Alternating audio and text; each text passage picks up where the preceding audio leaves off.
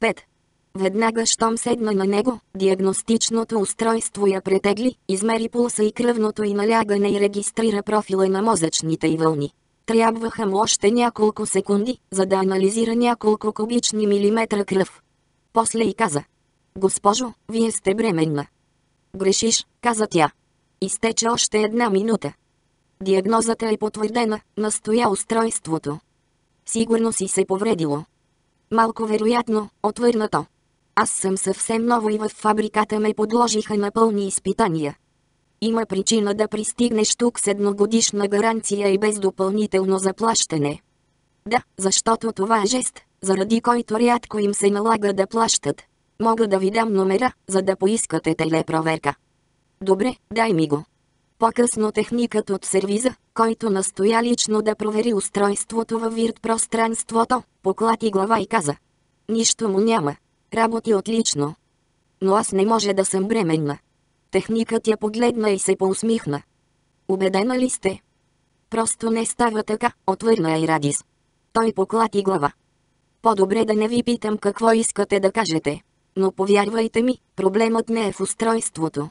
А какво ще решите да правите с информацията, разбира се, си е ваша лична работа. Тя му кимна на сбогуване и угасна като светлина. После се заскита из високите зали на замъка. Мислеше за деца. Около нея се плъзгаха сенки, теченията поклащаха завеси и гоблени. По градите на таваните се штураха и дращеха мънички същества. А какъв беше онзи друг звук? Удивляваше я невъзможността на всичко това. Съчетаването на виртуиверите винаги бе стерилно, трябваше да е стерилно. Така бяха устроени световете. Нямаше място за пазарлъци с принципите. Не можеше да е бременна. Тя спря и се погледна в чудновато криво огледало.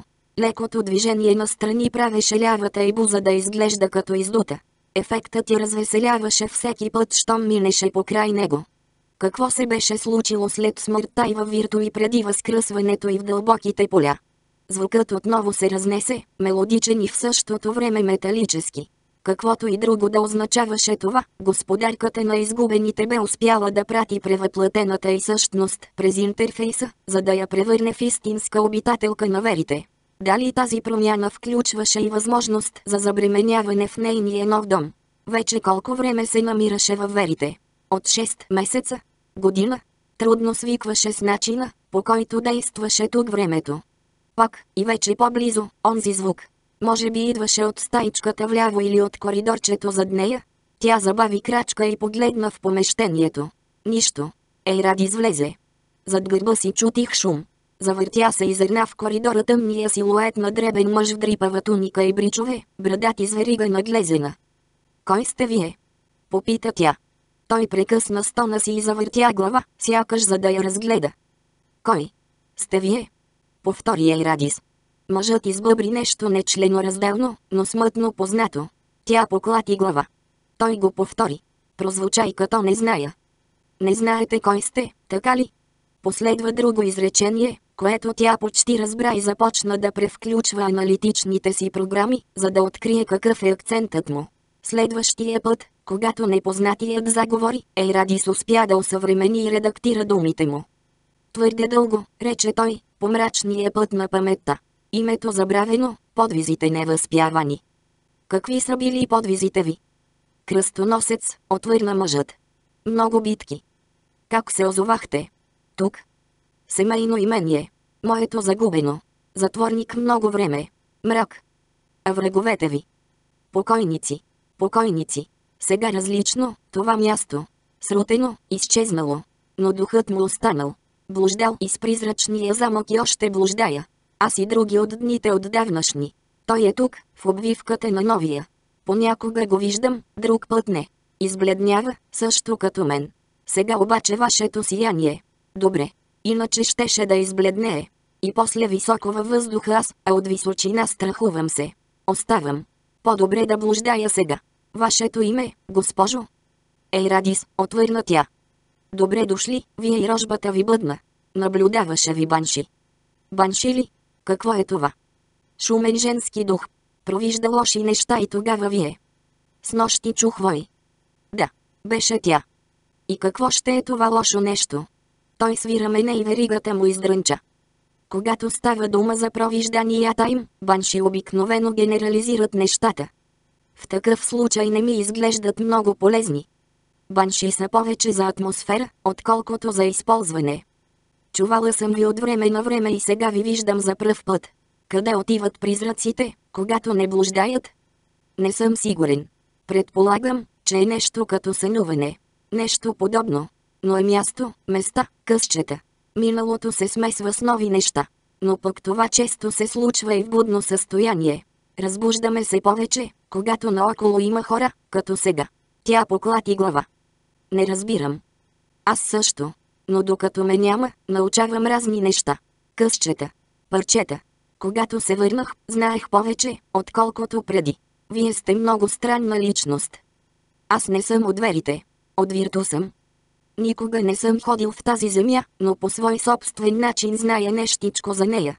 Зная и че сте дошли тук от още по-странно царство, от което не ми е известно да има обратен път. Отишли сте в дълбоките поля и сте се върнали. Смятах, че не е възможно. Вие обаче сте донесли със себе си късче от него. Сякаш тъмният му прах е полепнал по обущата ви. Навярно за това ми е по-лесно да приказвам с вас, отколкото с повечето топли създания. Имаме нещо общо. Защо блуждаете и мъкнете верига? Във вирту мъртвите не правят така. Това е символ за страданията ми в края на моя живот. Но от тогава са минали векове. Колко време трябва да го правите?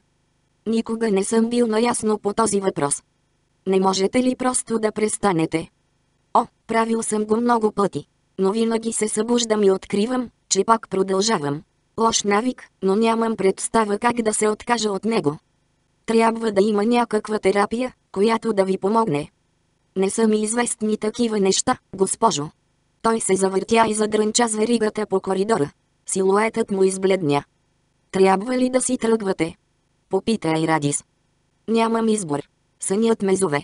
Сякаш с огромно усилие, мъжът спря и се обърна към нея.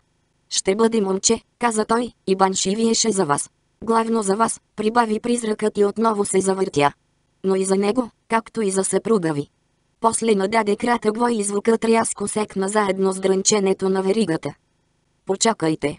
Извика тя. Върнете се. Но той избледняваше с всяка следваща крачка и след мигове изчезна. Ей ради спроля първите си сълзи във верите. Донърджак вдигна поглед от реката уравнение на екрана и насочи вниманието си към текста, който съставяше в другата му половина.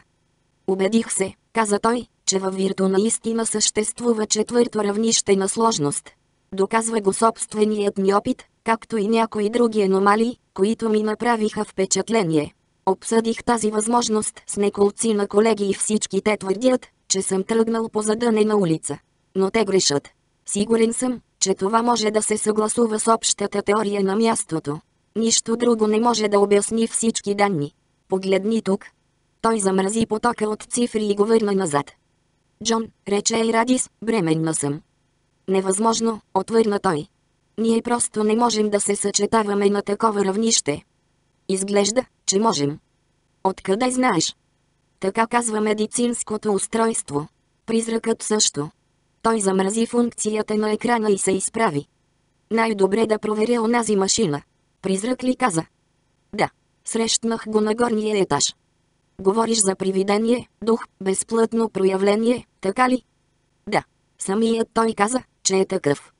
Този замък е прекалено нов, за да има призрак, ако изобщо съществуват такива неща. Тук никой не е умирал от насилствена смърт. Той твърди, че е преживелица от стария замък, който някога се издигал на това място. Как се казва? Не можеше да си спомни. Хеме, значи безименен ужас. И е споменал, че си бременна, така ли? Да. Каза, че ще е момче. Е, няма начин да проверя призрака. Хайде поне да погледнем машината. Половин час по-късно Донер Джак се изправи от пулта, изключи устройството, затвори куфърчето си с инструменти и си свали ръкавите. Добре, каза той. Всичко изглежда наред. Включи се в него и да видим какви ще са резултатите. Тя го направи и Джон започна стандартната процедура. Когато стигна до съществената част, машината съобщи. И все още сте бременна. Проклет да съм. Възкликна той. Какво ще правим? Попита Айрадис. Донърджак се почеса по главата. Ще поръчам медицински робот с акушеро-гинекологична и пълна педиатрична програма, отвърна той, докато обмислим положението. Тези данни показват, че има достатъчно време. Кой би си помислил, че... Исках да кажа. Започна тя. Исках да кажа, какво ще правим с нея. Джон срещна погледа й. Ти го обеща на господарката на дълбоките поля, продължи Айрадис, в замяна на моето освобождаване. Мислех си, че това никога няма да се случи. Но след като вече е факт, какво ще правим? Имаме време да помислим. Можем да се договорим. Имам чувството, че няма да успеем. Е, въпреки това ще опитаме. А после? Ще помисля. Бременна. Докато плуваше в топлата вана, Ейради смислеше за това. Не, че никога не й беше хрумвала тази възможност, само възпроизвеждащите се проги бяха нещо нормално във Вирту. Те спасяваха Джиния Слоуки от изразходване на цялата им енергия за първично програмиране и им даваха възможност да творят но никога не се бе замислила сериозно за възможността самата тя да има дете, и определено не след като беше отдала сърцето си на Джон, защото макар че често се любеха едни с други, обитателите на виртуиверите никога нямаха потомство. Примижала, тя погледна през мигли голото си тяло. Не забелязваше никакви промени, но както показваше утринното гадене, промени имаше. Ей ради снежно прокара пръсти по все още плоския си корем. Как щеше да изглежда бебето? Момчето. Двамата Джон бяха тъмнокоси и тъмнооки, така че най-вероятно и то щеше да е такова. Надяваше се да има конструкцията на баща си, висок и силен, без изобщо да е тромав. По устните и плъзна лека усмивка, когато си представи бебето, момчето, младежа, своя син. Водата във ваната постепенно изстиваше. Тя си помисли дали да не завърти кранчето с крак и да долее гореща вода, после погледна към подпухналата кожа на пръстите си нещо, което никога не се случваше във Вирто и реши, че е достатъчно. Изправи се и остави водата да се стича на капчици по покритата и с масло кожа когато бяха в Ямайка, Джони беше подарил масло за вана с аромат на жасмин. Свикнала с по-хладния въздух, тя стъпи навън върху китайското килимче, докато отпускаше вдигнатата си на кок, за да не се намокри коса, Ейрадис се замисли какво да прави през останалата част от деня. Джон беше в кабинета си и търпеливо работеше по проекта за двореца от кости на смъртта. Не й харесваше да е около него, докато се занимава точно с този проект, инстинктивно усещаше, че смъртта я наблюдава, и макар че мъжът и упорито отказваше да мисли за това, Ейрадис знаеше, че дворецът е само част от цената за нейното завръщане от дълбоките поля. Не го обвиняваше, че е приел условията на смъртта, в крайна сметка, тогава му се бе струвало невъзможно да се изпълнят. Господарката на изгубените спокойно би могла да поиска луната, но Ейрадис се страхуваше за неродения си син и се ужасяваше от предзнаменованието на Банши. Банши. Това не беше ли нейният двой? Ейрадис замръзна на място и се заслуша. Не, бе чула просто зимния вятър, който гонеше мъглите из куличките на замъка. Бързо отиде до гардероба си, извади дълга пола от шотландско каре, ирландски плетен половер, дебели чорапи и удобни обувки. Призраците обичаха да блуждаят на онези места, на които Джон беше пресъздал представите си за древен шотландски замък. Щеше да ги потърси, да ги попита за поличбите. Кой можеше да знае плановете на смъртта по-добре от обитателите на границата между живота и онова, което във верите минаваше за дълбоките поля? Джон възнамеряваше да победи смъртта, Ейрадис бе убедена в това. Можеше да е учен и поет, но носеше и душа на войн. След прераждането си във верите тя не помнеше много подробности за религията, упражнявана от мнозина от родствените иони. Съпругът й имаше място в техния пантеон, дали то знаеше? Нещо като полубок. И все пак неговите планове, способностите му не означаваха, че не може сама да провери как точно стоят нещата. Нероденото дете беше и нейн син и смъртта го искаше като откуп за нейния живот. Нейн дълг бе да го закриля също толкова, колкото и на Джон. Ейрадис бързо излезе от банята, изкачи се по каменните стъпала и излезе при зъберите. Дългата и пола се развя на вятъра, както се бяха размахвали крилета и във вирту, но този път не тъжеше за тях, носеше в себе си нещо по-скъпоценно, нещо, което беше решено да защити. Банши. Извика Айрадис. Банши. Вятърът отнесе думите от устните и толкова бързо, че едва ги чу. Тя се завъртя с протегнати ръце. Полата й се развя около нея, тъмната и гъста коса заплющя. Ейрадис затанцува на вятъра като циклон от кареяба нос. Заваля дъжд, силен и леден. После премина в град, който затрака по гладкия камък и покри плочите с бучки лед. Тя продължаваше да танцува и краката й се плъзгаха по леда. Танцуваше с вятъра и дъжда. Някой здраво я обгърна през кръста, силна ръка стисна вледенените й пръсти, но замъглените й очи не можеха да открият партньора й.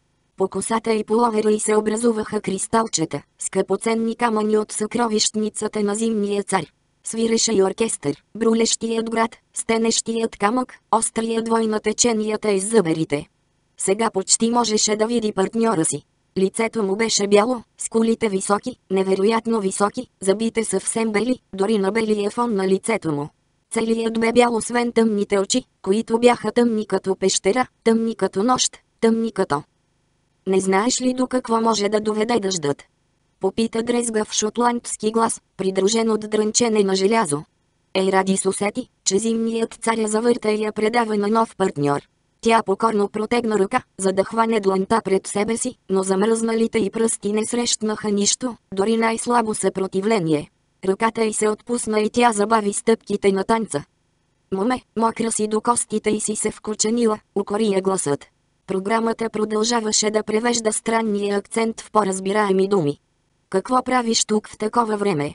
Ще трябва да си поприказвам с онзи твой съпруг да те наглежда по-внимателно. Не ми пука, че е господар на замъка. Ейрадис се остави да я въведе в затоплената вътрешност на замъка. Когато ледът от косата й се стопи и пръстите й изтръпнаха от топлина, тя позна събеседника си. Призрак. Радостно каза Ейрадис. Надявах се да те открия. Е, откри ме. Измърмори призрачният кръстоносец. Моме, ти едва не стана като мен. Вземи си сложи някакви сухи дрехи преди да убиеш и себе си, и рожбата си. Но аз искам да поговоря с теб точно за бебето, възрази Радис, като изстискваше мократа си коса. Ръцете и краката й възвърнаха чувствителността си и тя започна да трепери. Нима. Сега ли? Изражението на призрака оставаше строго, но нещо в гласа му омекна. Първо се изсуши, сгрей си вътрешностите с топла супа и после можеш да ме откриеш в дългата галерия. И за да покаже, че разговорът е приключил, той избледня. Веригата му се задържа няколко секунди по-дълго, после изчезна и тя. Ейради спотръпна, кихна и като събра полите си в две ръце, побърза надолу към спалнята. Малко по-късно, вече с съвсем суха коса, облечена в чисти топли дрехи и изпила половин литър гъста супа от телешко ячемика в ръката си носеше втора порция в тежка керамична чаша, тя се изкачи в дългата галерия. Подходящо място за среща с призрак, помисли си Ейрадис. Въпреки че двамата Джон бяха избрали за пода персийски килим, отстрани все пак се виждаха голите каменни плочи. Гоблените и портретите маслени платна, които беше купила от различни антикварни магазини, кикотейки се на израженията на някои от лицата, защо им бе да ги запомнят с толкова строги физиономии. Смекчаваха тъмния камък, но не можеха да променят мрачната атмосфера на коридора. Не помагаше дори дискретно скритата изкуствена светлина. Сякаш самата галерия беше решила, че е предназначена да е сенчесто, призрачно място и нарочно отхвърляше всичките им усилия. Ейрадис отпиваше от супата и бавно вървеше по коридора. Килимът заглушаваше стъпките й. Стигна до един прозорец с нисък каменен первас и остави чашата. Опитваше се да извади парчета лешко с лъжицата, когато чу дрънченето на веригата. Благодаря ти, че дойде, любезно каза тя и подхвана полите си, за да направи нисък реверанс. Нямах избор, нали? Навъсено отвърна призракът. Ако не бях дошъл, още щеше да си танцуваш като побъркана на вятъра и снега. Не толкова побъркана, рече и Радис, като отметна глава и повдигна вежди. Все пак те открих, нали? Откри ме, да. Е, какво искаш да ме питаш за рожбата си? Докато бях жив, нямах потомство, и след като сега съм мъртъв, явно вече няма да имам. Но ти каза, че детето ми ще е момче, възрази тя, каза също, че воят на Банши е бил за него, както и за нас Джон. Призракът разклати веригата си, направи няколко крачки и я изгледа изпод гъстите си вежди. Позволяваш си волности, моме, наистина. Не можеш да задаваш такива въпроси на призраци и свръхестествени проявления. Ние даваме поличби, друг въпрос е как ще ги тълкувате.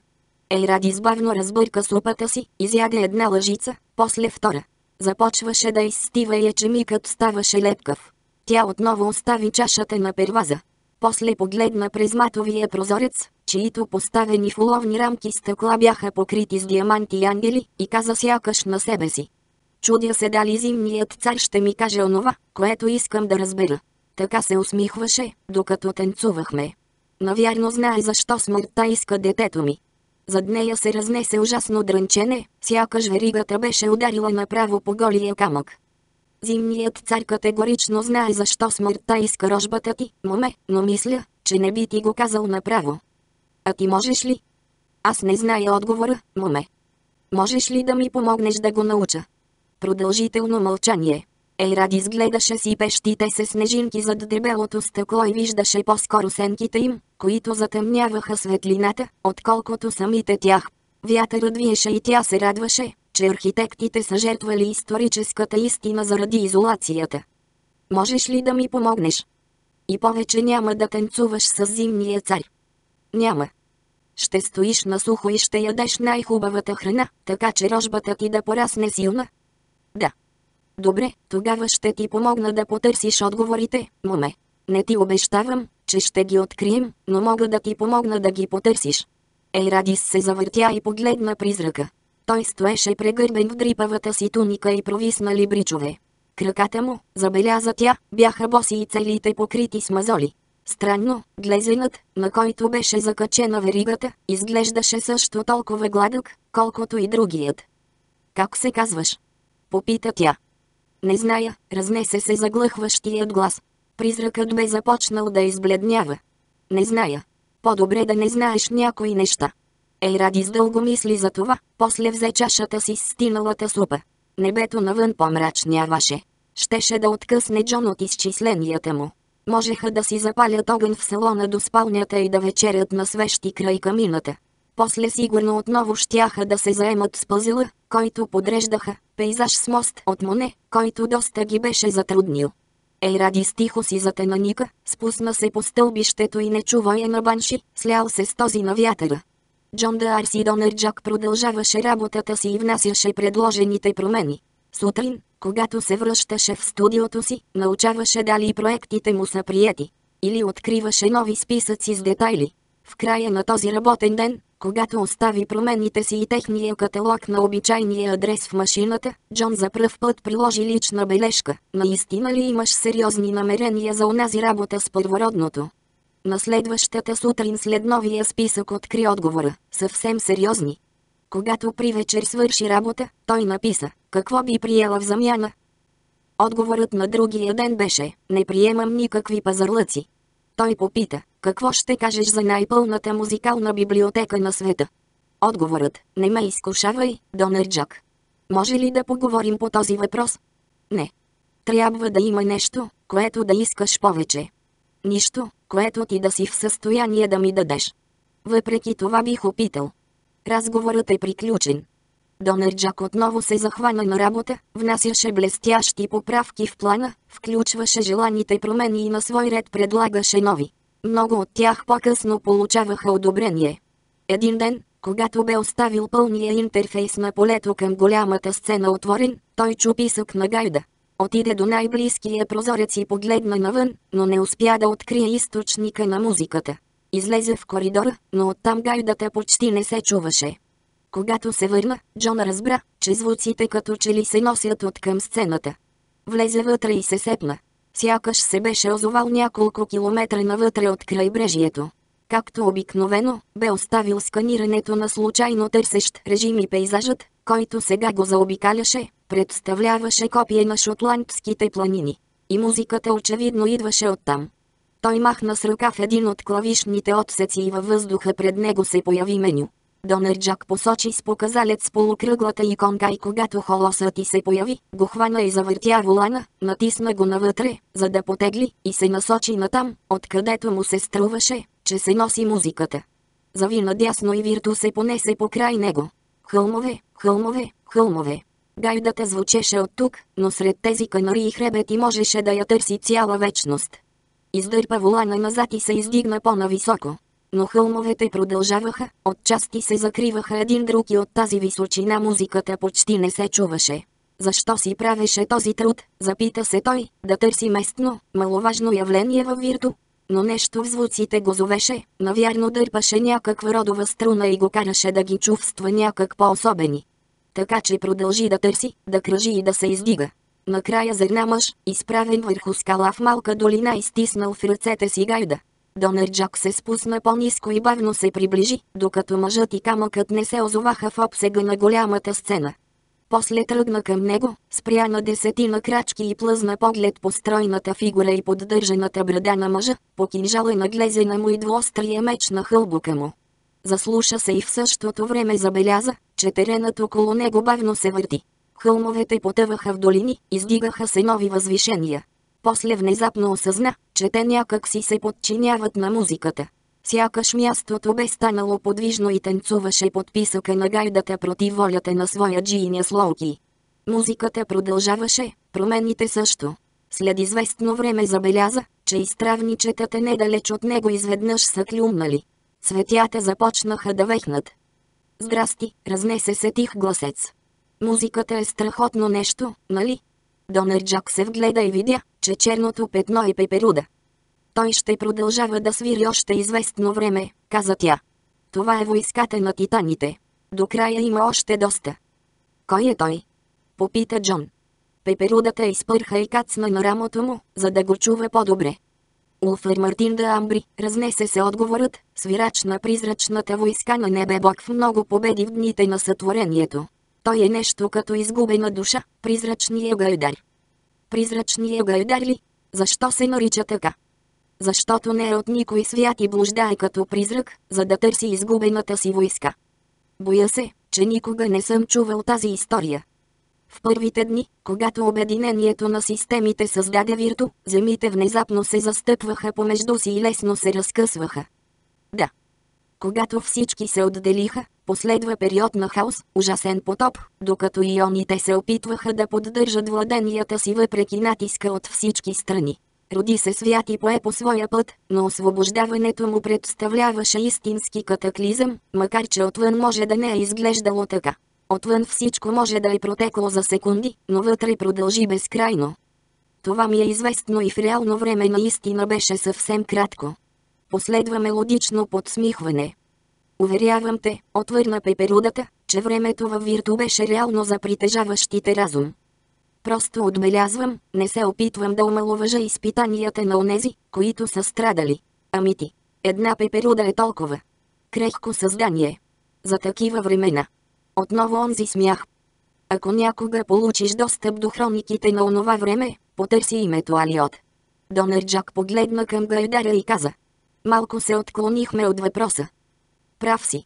Небе Бог си беше представил рота от смъртоносни войни. И ги създаваше винаги, когато се нуждаеше от услугите им в битка. Гайдарът продължаваше да свири. Донерджак поклати глава. Представил, казваш. Да. Както бе обичайно за боговете по времето на Великия потоп, той създаваше всичко, от което имаше нужда, само с силно въображение. Вече не правят така. Прекалено е изтощително. Но тогава му трябваше смъртоносна ударна сила. Значи просто си ги е представил и те са се появили, така ли? О, не. Дори боговете се нуждаят от известна подготовка. Трябваше да си представя всеки един по-отделно, фигурата и лицето му, бойните му способности. Трябваше да види всички тях толкова ясно, колкото се виждаме ние с теб. Едва тогава можеше да съчетае въображението с волята си и да ги създаде на бойното поле. Разбира се. И предполагам, че е бил в състояние да изцерява раните им и после пак да ги праща в бой невредими. Да, можеше да играе ролята на полева болница. Те бяха великолепни и техният гайдар да амбри пламтеше като силен огън. И той се биеше също като останалите. Може би даже по-добре. И какво се случи? Когато нещата се поутеложиха и призивът на оръжие започна да се чува все по-рядко, необходимостта от техните услуги постепенно отпадна. И тогава, след една от последните велики битки, небе Бог свика войската си, за да я приспи отново в паметта си. И всички те мигновено изчезнаха, освен самотния гайдар на върха на хълма. И защо е останал? Една от малките житейски загадки. Предполагам, че е притежавал нещо, което другите са нямали – своята музика. Мисля, че това му е придавало индивидуалност. И по-късно ротата беше призовавана още няколко пъти и винаги се появяваше без гайдаря си. Говори се, че известно време не бе Бог безуспешно го търсил, но после битките свършиха и той никога повече не ги е призовавал. И сега гайдарят се скита в търсене на изгубената си войска. Свири из цяла виртуигизове. Жалко, че не може да забрави и да започне нов живот. Кой знае, може би някой ден. Гайдата внезапно замлъкна. Донърджак вдигна поглед и видя, че гайдарят е изчезнал от скалата. Закрачи натам. Какви ли спомени бяха заключени в главата на този човек? Ако успеше да го накара да му ги разкаже, това щеше да се равнява на цял университетски курс по епистемология на Вирту. Заобиколи канарата, но гайдарят не се виждаше никъде. Направи още една обиколка около камъка. Улфър. Извика Джон. Улфър Мартин да Амбри. Трябва да поговоря с теб. Къде си? Но не получи отговор. Когато се върна на предишното място, вече я нямаше и черната пеперуда. Алиот. Попита той. Тук ли си още? Отново никакъв отговор. Донърджак тръгна обратно. После импулсивно активира пулта си и се издигна на високо. От гайдара нямаше и следа, но остана впечатлен от филните промени в терена, очевидно предизвикани от музиката. Полегатите склонове бяха станали по-стръмни, стръмнините се бяха превърнали в недостъпни чукари. Земята изглеждаше подива, като в някогашните сурови времена. Донърджак се спусна и превключи на нормална търсеща програма, която позволи на пейзажа на Вирту да преминава през голямата сцена. Можеше да хололизира или да оставя непокътнато всичко. Остави го непокътнато. После се завъртя и излезе в собствения си свят. В деня, в който най-после срещна Банши, Ейрадис вече ясно различаваше издотината на корема си. От известно време двамата жон постоянно обитаваха замъка и рядко напускаха шотландския си остров. Уединението им носеше любовна наслада, но тя знаеше, че по този начин Донърджак свежда до минимум неудобните въпроси за происхода на съпругата си. Ейрадис също искаше да запази тайната. Криенето нямаше да продължава вечно. Той беше обяснил системата, по която възнамерява да вкарва данни за нея в архивите на верите, много от които се съхраняваха във Вирту. Но докато разработваше плановете за двореца на смъртта и от време на време работеше за института Донърджак, не му оставаше време за друго.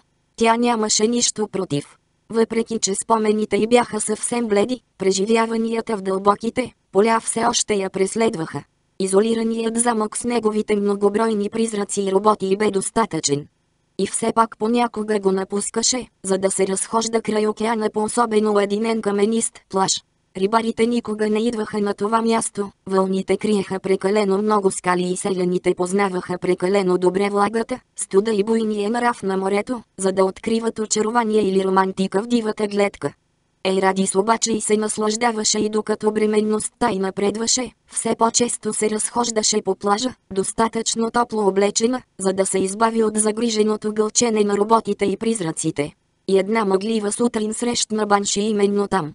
Отначало си помисли, че някой от селските момичета е дошло да пере, но идеята й се стори несериозна още преди окончателно да се оформи. Кой би киснал в ледената солена вода, когато в селото имаше достатъчно газови перални и сушилни? Изпълнена с любопитство, тя побърза нататък. На тежалото и тяло правеше стъпките и по кръглите камъчета на плажа малко тромави. Когато приближи, Ейрад извидя, че първоначалното и предположение явно е вярно, момичето наистина переше дрехи в солените води на островчето. Госпожице! Повика я тя. Искаше и се повече да е освоила местния диалект, макар да подозираше, че призраците могат да я научат на език с неколко вековна давност. Госпожице, да не сте загубили нещо? Мога ли да ви помогна? Сепнато от гласа й, момичето, не, жената, се изправи и дрехата, която переше, изчезна, но не и преди Айрадис да зърне карето на рода Донърджак. Когато жената се завъртя към нея, тя видя защо отначало я е помислила за по-млада, беше ужасно слаба и все пак излъчваше сила и от сиво-зелените й очи строеше, странна напрегнатост. Тези сиво-зелени очи до толкова привлякоха вниманието й, че Айрадис се приближи до нея още преди да забележи изключителната й красота. Правата й копринена коса, която се спускаше почти до стъпалата й, имаше цвят на лунни лъчи. макар че роклята изглеждаше семпла, просто парче плат с панделка на шията и волан под малките й обли гърди, видът и беше аристократичен, такива бяха и фините и остри скули. По ръцете й нямаше следи от пране и пръстите й бяха също толкова дълги и фини, колкото и всичко останало в нея, с съвършено оформени ногти. Вие не сте от селото, каза Айрадис, като се насили да не направи реверанс в края на краищата, нали бе господарка на тази земя и съпругът ти беше владетел на замъка. Моля, кажете ми коя сте. Аз съм коняк на тази земя, на старите господари, издигнали първите древни укрепления, върху праха от които съпругът ти построи замък, за да го направи твой дом. Говореше също толкова изтънчено, колкото изглеждаше, но в интонацията имаше нещо, което накара и Радис да потръпне и инстинктивно да защити корема си с длан. Коняк ли? Какво означава това? Виещата жена, отвърна другата. Призрачният кръстоносец ме нарича с ирландското име Банши. Майка му е била ирландка, въпреки че той не си го спомня. Знаете ли името му? Да, но той не го иска. Когато го пожелае, сам ще го разбере. Вие ще те насочи сиво-зелените си очи към Айрадис. Искаш да ме попиташ какво правя тук ли? Не, помислих си, че мястото ви е тук, както мястото на призраците е в замъка. Би трябвало повече да се замисляш. Изражението на коняк не беше любезно, но не можеше да се каже и обратното. Знаеш ли каква е моята функция? Призрачният кръстоносец каза, че воят ви имал нещо общо с предзнаменования. Предзнаменования за смърт, колебливо отвърна Айрадис. Държеше едната си ръка плътно долепена до корема си, а с другата придърпваше около себе си на металото, сякаш тежестта на вълната можеше да защити нероденото и дете. Каза, че виете за мен, за мен, за моето бебе и за Джон. Така е. Питаш ли се защо? Да. Смъртта те отнесе, с определена цел и те върна поради същата причина. Твоят Джон захапа при мамката, макар че, за да съм справедлива към него, Донерджак постъпи съвсем различно от онова, което очакваше господарката на дълбоките поля. Смъртта. Очаквала? Какво искате да кажете? Защо да ти обяснявам? Какво можеш да ми предложиш? Коя си ти, призрак от Вирту, че да заповядваш на някого с благородна кръв? Благородна кръв. Да, моме, коняк е от рода Донерджак, от род, по-древен от този на Донерджак, от клана, който роди господарите на тази земя, присвоена от твоя съпруг по правото на закона и до някъде на кръвта. И все пак. И все пак вие твърдите, че сте от рода Донерджак. Да, той е господарят тук и аз съм виещата жена на тази земя, затова съм от неговия род и от твоя род, призрак от Вирту. Тогава ми помогнете, заради същия този род, заради древния клан, който ви е родил. Нима гордите потомци на тази земя трябва да бъдат използвани като пионки, даже един от играчите да е самата смърт. Коняк студено се усмихна с тънките си устни. Това ли е всичко, което ми предлагаш, жено от Вирту? Възможност да защитя гордостта на хора, отдавна превърнали се в прах, заради други, които скоро ще се превърнат в прах. Смяташ ли, че е достатъчно, Ейрадис прикри вълнението си, коняк спокойно можеше да изчезне с презрително изсумтяване и вой.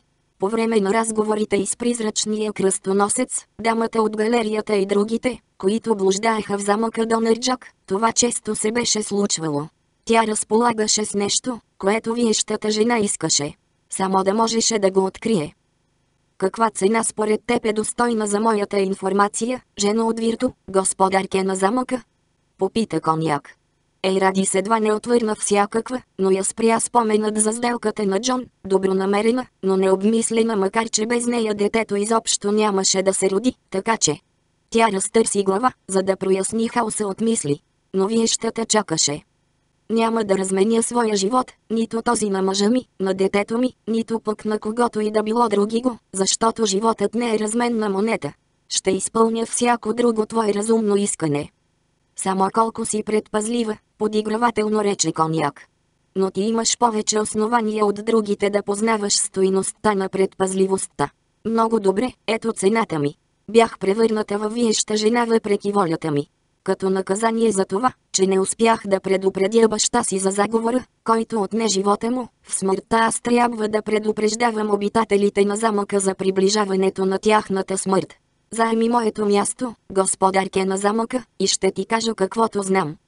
Да заема твоето място. Да, след собствената си смърт, когато и да настъпи тя. Не искам сегашният ти живот, а само задгробния. Задгробния ми живот. Ейрадис сбърчи чело и се помъчи да си спомни времето, прекарано в дълбоките поля. Беше. Не беше. Не бе точно.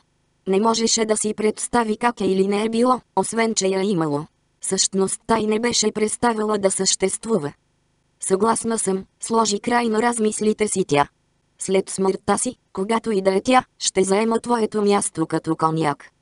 Така да е, каза виещата жена и с тези думи ей Радис осъзна, че няма връщане назад, някакво копринено въже се бе увило около нея и я привързваше към съдбата и също толкова здраво, колкото призрачният кръстоносец беше привързан към веригата си.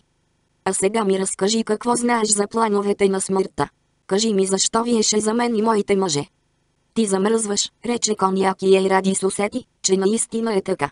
След като направи толкова много, за да спасиш сина си, не трябва да го излагаш на риск още преди да се е родил. Влез вътре, нахрани се и пиени нещо. Когато останеш сама, ще дойда да поговорим. Но... Край. Пронизително извика виещата жена, изчезна и остави след себе си само ехото в скалите. Призраци, каза и Радис на глас. Последната дума винаги е тяхна. Всъщност, може би така трябва. Искаш ли още малко задушено, скъпа? Вдигнал черпака над купата, попита Джон. Ейрадис се засмя. Вече изядох две порции, Джон, две порции задушено, резен пресен черен хляб и парче мек чедър. Аз просто съм бременна, не се огоявам за панаира. Той остави черпака и също се засмя. После премести стола си, седна до нея и я прегърна през рамо.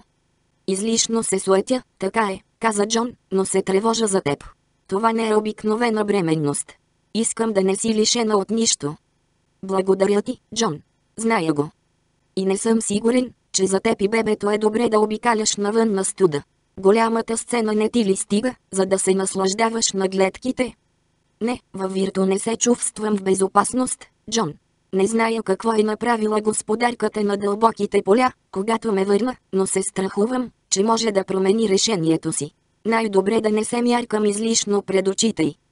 Голямата сцена е по-скоро верите, отколкото Вирту, Ейрадис. Тя представя външния вид на Вирту, без да проектира същността в програмата. Можеш да й се наслаждаваш, без да участваш в нея, не е нищо повече от красив тапет. Зная, Джон, зная. И все пак съзнанието на господарката на дълбоките поля се простира в цяла Вирту, даже когато не осъществяваме прехвърлянето. Не, предпочитам да избягвам Вирту, освен ако не си с мен, а може би дори тогава. Както кажеш, скъпа. Думите му прозвучаха безизразно, но Ей ради усети, че я иронизира, сякаш внезапно са и се дояли кисели краставички или сладолет с манго. Ами тогава, Ейра, щом не мога да очаквам да се пазиш от студа, искаш ли да се преместиш някъде на по-топло? Бих могъл да те посещавам често. Бих дошъл заедно с теб, но имам нужда от оборудването, което монтирах в замъка. Не, Джон. Не искам да те оставям. И без това те виждам достатъчно рядко. Поне ми позволи нощем да усещам топлината ти до себе си. Прекалено самотна ли се чувстваш, Ейра? Не, обич моя. Намерих с какво да се занимавам. И все пак всичко ще загуби привлекателността си, ако не очаквам компанията ти вечер. Обичам те, Ейра. Може не винаги да го проявявам, но те обичам. Повече, отколкото мога да го изразя с думи. Отговорът и не беше словесен, но му достави наслада и Джон се върна в кабинета си с един час по-късно, отколкото имаше намерение, усмихнат изгрян от мисълта за смеха й. Ейрадис сама разчисти масата от обеда да ръководеше роботите, които по заповед на Донър Джак разтоварваха съндъци с електронно оборудване и тази проста задача й достави удоволствие. Когато всичко бе подредено, отиде в салона и пъхна в огъня нова цепеница. Въпреки че зимата отстъпваше мястото си на пролетта, замъкът оставаше студен. Тя си взе книга, настани се на един от столовете и положи всички усилия да забрави, че чака да види дали коняк ще дойде при нея. Беше и хрумнало, че духът може да я обвърже с нейната страна от оговорката и после с неохота да изпълни своята. Безпокойството й обаче бе напразно, тъй като едва успя да прочете две страници, когато пламъците на огъня заподскачаха, вятърът навън заблъска стъклата и ето че стройната бледа фигура на виещата жена седеше на стола до камината. Интересна ли е? Попита тя и посочи книгата, която Айрадис остави в скута си. Много, отвърна Айрадис. Разкази за морски пътешествия. След като си била русалка е странно да възприемеш останките от кораба от гледна точка на моряците. Разбира се, повечето моряци във Виртуса на почивка и потъването им задейства отзоваваща програма във верите. И все пак действията във Вирту могат да предизвикат смърт във верите, странно, нали, след като само едното място е действително. Вирту е действителна, отвърна Айрадис. Разбираше, че коньяк трябва да има причини да започва по такъв уклончив начин. Така казваш ти, така твърдят и мнозина, особено от Вирту, но откъде се е взела тази действителност? Никой не знае. Това е голямата загадка, загадката на първото слово, хаосът на сътворението.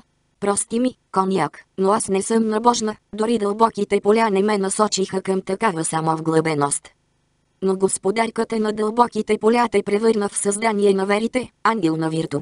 Питала ли си се защо го е сторила, след като Донърджак я е помолил само да ти върне живота? Колкото и мъдър да е, Джон Д'Арси Донърджак дори не се е сетил да те поиска за жена във верите. Странното великодушие на господарката на дълбоките поля наистина ме удиви и реших, че искала да родя това дете, за да може да го получи в замяна на живота ми, но каква полза би имала тя от дете от верите? Ами ако твоята рожба не е просто дете на верите? Ами ако, въпреки промените, които е направила в теб, синът ти наследи нещо от вирту? Какво ще представлява тогава? Объркваш ме. Вие ще жено, струва ми се, че са сбъркали името ти. Трябвало е да те нарекат загадъчната жена. Коняк избледня на стола си и постройната и фигура запробягваха вълни. Ейрадис си помисли, че може да е обидила духа. После разбра, че виещата жена се смее. Когато прозрачността изчезна, високите изкули бяха поруменели и тънките устни се извиваха в приветлива усмивка. Ти ми харесваш, Ейрадис. Жалко. Добре. Ще ти го кажа направо. Не всички от Вирту са доволни, че връзките с верите са еднопосочни. Господарката на дълбоките поля знае това и се опитва да си осигури преимущество в тази игра. Твоят син може да е това преимущество, може и да не е, но така или иначе смъртта навярно е хванала Джон Д'Арси Донърджак в капана си и ще го принуди да й го даде. Защо Джон? Защо мен? Ние не сме единствената двойка, разделена от интерфейса. Не, но той е Джон Д'Арси Донърджак, а ти? Ти, клето създание, си нещо много повече, отколкото съзнава съпругът ти. Прахът на черната пеперуда още лепне по косата ти. Казвала ли си го на Джон? Не съм. Така. Последва продължително мълчание, което по някакъв странен начин беше приятно. Наруши го Айрадис. Под замъка има тунели. Зная ги. Исках да ги проуча. Мога да ти ги покажа. Утре ли? Утре. Тогава доскоро. Доскоро. Виещата жена изчезна. Ейрадис се усмихна и вдигна романа си. Бе чудесно отново да има приятелка, особено в такъв момент. Роботите бяха симпатични, призрачните войни също, но нищо не можеше да се сравнява с компанията на представител на собствения типол. Тя прелисти страницата. Вятърът виеше над измисленото море. Ревът на океана навън и осигуряваше музикален фон. Затоплена от овесената каша с сметана на закуска, Ейрадис си обу тежки бутинки, доста по-грозни, отколкото предпочиташе, но за това пък водонепроницаеми издебели грайфери. Върху вълнените панталони и половер си облече леко яке, по-скоро за да се предпази от влагата, защото не предполагаше, че в подземията ще има вятър. Пак ли отиваш на плажа, Ейра? Попита я Джон. В едната си ръка небрежно стискаше дискове и четящо устройство и очевидно идваше от кабинета си да вземе материалите, които бе чел в леглото предишната вечер. Не, отвърна тя и си изненада долови предизвикателните нотки в гласа си. Реших да проуча тунелите под замъка, останките от старата крепост. Джон се понамръщи, погледна през прозореца, забеляза ситния дъжд и кимна. Времето навън не изглежда много примамливо и след като не искаш да използваш сцената. Не искам. В такъв случай. Ще вземеш ли със себе си някой робот? Нямам такова намерение. Не би било зле. Не съм навлизал навътре в тунелите, но като че ли има доста непроходими участъци. Не ми трябва бавачка, Джон. Запази я за бебето. Моля те, Ейра, не се дръж неразумно. Не те карам да стоиш вътре, моля те само да вземеш някой робот, за да ти помогне, ако паднеш или се подхлъзнеш. Ей ради се едва не отвърна, че очаква да я придружи поне един призрак, но се овладя. Джон дори не си представяше колко много време прекарва жена му с призрачните обитатели на замъка Донърджак, с призрачния кръстоносец, с Малчо, с плачещата слугиня, затворника с завързани очи, с дамата от галерията, а сега и с коняк. А и всъщност доводите му бяха основателни. Добре, Джон, имаш право. Ще питам Дак кой от тях е свободен. Съпругът ти остави дисковете, прегърна я и прошепна в косата й. Можеш да вземеш който и да е робот, обич моя. Ти си по-важна от всяка задача, която трябва да се свърши тук. Почти всяка. Ти за нищо на света не би оставил работата си, горчиво си помисли тя и тутък си се укори за сприхавостта. Знаеше, че за него проектирането на двореца на смъртта означава да изпълни своята част от сделката, която му беше върнала Айрадис, но подозираше, че тази му всеотдайност съдържа известна доза гордост. Господарката на ентропията постоянно му пращаше електронна поща с предложения за корекции и допълнения към своя дворец от кости. Джон бе споменал, че се чувства странно поласкан да получава писма от създание, смятено за легенда дори от най-великите учени на верите. Благодаря ти, Джон, отвърна тя, като се опитваше да не обръща внимание на мислите си. Предполагам, че ще ми е достатъчен някой от работите с общо предназначение. Той се усмихна, отново я прегърна, после взе дисковете и четящото устройство. С нетърпение очаквам да ми разкажеш за откритията си, скъпа. Ще те видя ли на обед? Навярно, отвърна Айрадис. Не зная докъде ще стигна, а и тръгвам късно. Добре. Не се уморявай. Няма. Джон леко я целуна по бузата и излезе. Ейрадис остана неподвижна още няколко секунди, като се чудеше дали не го е ядосала. Успя да сподави въпроса с известно усилие. Знаеше, че не може да го догони и да го попита, без да предизвика спор по същите проблеми, които бе решила да не повдига. Бракът, поне с всеотдаен учен, се оказваше малко по-труден, отколкото си представяше. Изобщо не беше съзнавала, че изкуството, изградило любимия й, ще е и нейн съперник. Тя притисна очите си с пръсти и се насили да прогони тези мисли от главата си. С времето щеше да си намери повече занимания. Когато се родеше бебето, щеше да има достатъчно работа. За сега и предстоеше да проучи тунелите и да се наслади на странната компания на коняк. Тежкият железен ключ, който отваряше дебелата желязна врата, спокойно можеше да е останал от първоначалния замък, но Ейрадис знаеше, че в една от поредните си прищевки, които обикновено запазваше за изкуството си, Джон е поръчал да изковат вратата в селото. Пантите изскърцаха, но се отвори съвсем лесно. Беше се спуснала в подземието на тъмниците заедно с Войт, сервомеханизъм с общо предназначение, който в момента приличаше просто на еднометрово яйце от червеношийка, висящо на 30 на сантиметра над земята. Въздушната му възглавница леко надигаше праха, но иначе присъствието на робота не и се натрапваше. Докато вкарваше ключа в ключалката, към нея се присъединиха призрачният кръстоносец, коняк и затворникът с завързаните очи. И той поиска да дойде, махна с ръка към другия призрак кръстоносецът. Каза, че познавал мястото. Реших, че няма да имаш нищо против.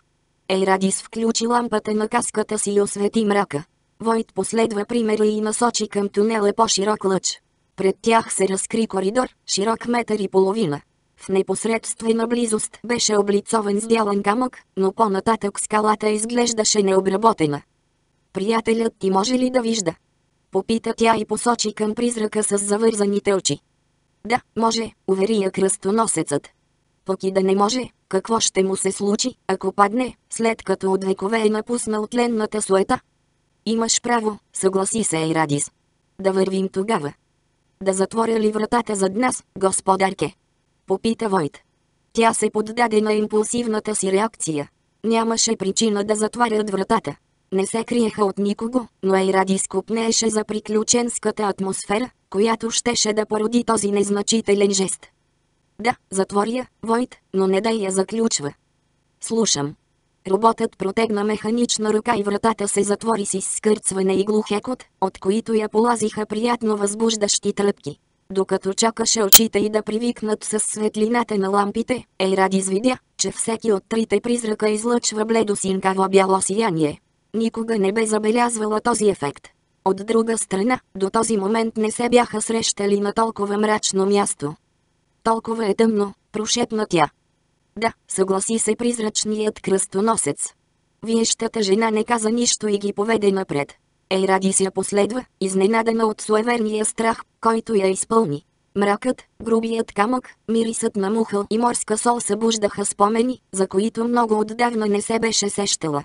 Тя се съсредоточи върху настоящия момент, хрущенето на пясък и скала под краката й, лепкавата каменна стена, до която бе допряла половера си, досадните капки вода, които падаха от тавана и се стичаха по носа й, и споменът изчезна, заедно с страха й. Ейради избавно следваше коняк по тунелите. Те лъкатушеха и се пресичаха толкова често, че не можеше да е сигурна на какво разстояние от замъка са се отдалечили и дали изобщо са напуснали границите му. Понякога подземието се разширяваше, за да се превърне в малка пещера, и тогава тя нареждаше на Войд да се издигне към тавана и да освети цялото пространство. В тези пещери откриваше различни неща. Стари бутилки, остатъци от свещи, ръждясала котия машинно масло, два струшени, захвърлени един до друг меча, парцалена кукла, шевовете на лицето и все още разкриваха кривата и усмивка. Ейрадис дори не докосваше повечето от тези находки, но прибра куклата в джоба си, тъй като не можеше да понесе мисълта да я остави самотна в мрака. Времето загуби всякакво значение. Призраците се носеха край нея почти без да разговарят и обикновено разменяха по някоя дума само помежду си.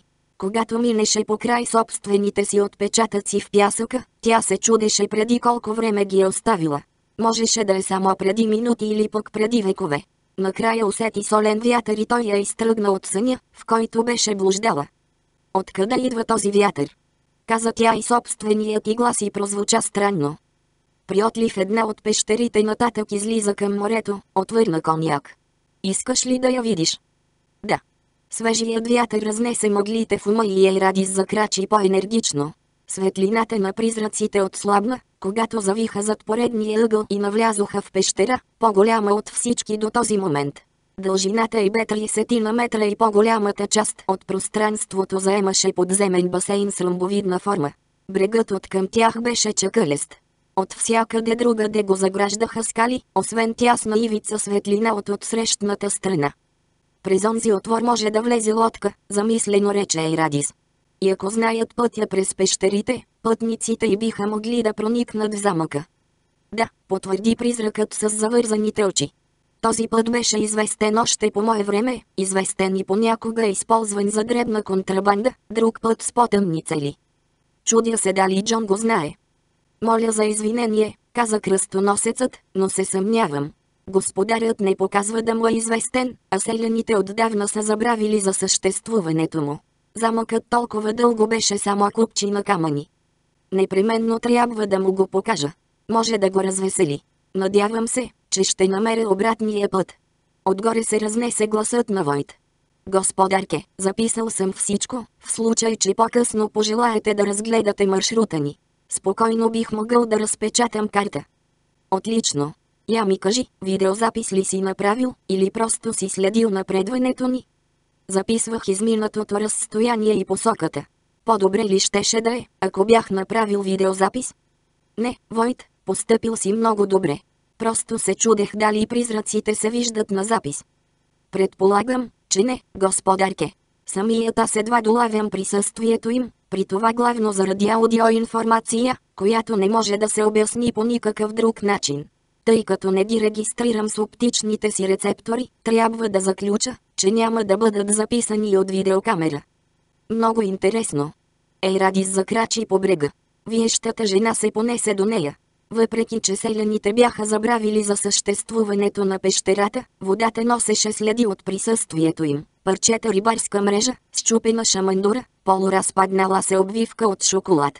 Сред плаващите останки имаше и по-стари неща, датиращи от преди строгите закони за рециклиране от миналия век. Някои от мирените котии и бутилки от безалкохолни напитки спокойно можеха да имат стойност като антики. Ейрадис беше виждала такива неща в антикварните магазини по целия свят. Може би по-късно щеше да събере няколко и да провери цената им в каталозите. В тези пещери има нещо повече, отколкото ми показваш, обърна се тя към коняк. Убедена съм. Какво те кара да смяташ така? Предчувствие, нищо повече. Предчувствие и навярно присъствието на призрака с завързаните очи. Нямаше да е тук, ако всички тези тунели водеха само до малки пещери и стар контрабандистки път. Логично. Ами ако ти кажа, че си права, че има още нещо? Ще те помоля да ми го покажеш. Даже да е опасно ли? Това все пак е моето подземие. Трябва да зная какво има в замъка ми, нали? Мнозина господари и господарки на този замък са легнали в гроба, без да знаят какво крият тунелите. Моля те най-любезно. Това сигурно е важно. Навярно е така, след като го споменаваш. Това механично създание вече знае за подземията повече от мнозина, които са се опитвали да ги проучат. Всички са склонни да подценяват сложността му. Интересно. Това означава ли, че ще ми покажеш тайните? За да се опиташ да ги откриеш с твоите механични помощници ли? Чудя се обаче дали те са в състояние да открият онова, което бих могла да ти покажа аз. Но трябва да разбереш, че готовността ми да те водя не намалява потенциалните опасности. Разбирам. И въпреки това продължавам да съм заинтригувана. Пътят може да се открие само при пълнолуние. Пълнолунието току-що отмина. Съжалявам, но това е задължително. Тогава ще трябва да почакам. След месец ще съм малко по-тромава, но това определено няма да ме задържи в покоите ми. Тогава ще уредя всичко. Ако е възможно, ще те заведа. Почакай. Да. Ще те видя ли пак преди пълнолунието? Наистина ли искаш? Говори се, че моето присъствие е лоша поличба. Мислех, че това се отнася само за воя ти. Хората често бъркат едното с другото. Да, бих искала да се срещаме. Можем да продължим да проучваме обикновените страни на тези подземия. Или ти прояви интерес към книгата, която четях. Мога да ти чета, ако самата ти не си в състояние. Съблазнително. Материалните неща са уморителни. Да, много бих искала. Аз бих се радвала на твоята компания. Ти и другите призраци сте способни да обсъждате някои метафизични въпроси, които не разбира дори Джон, а проблемите на живота и смъртта извънредно ме интересуват.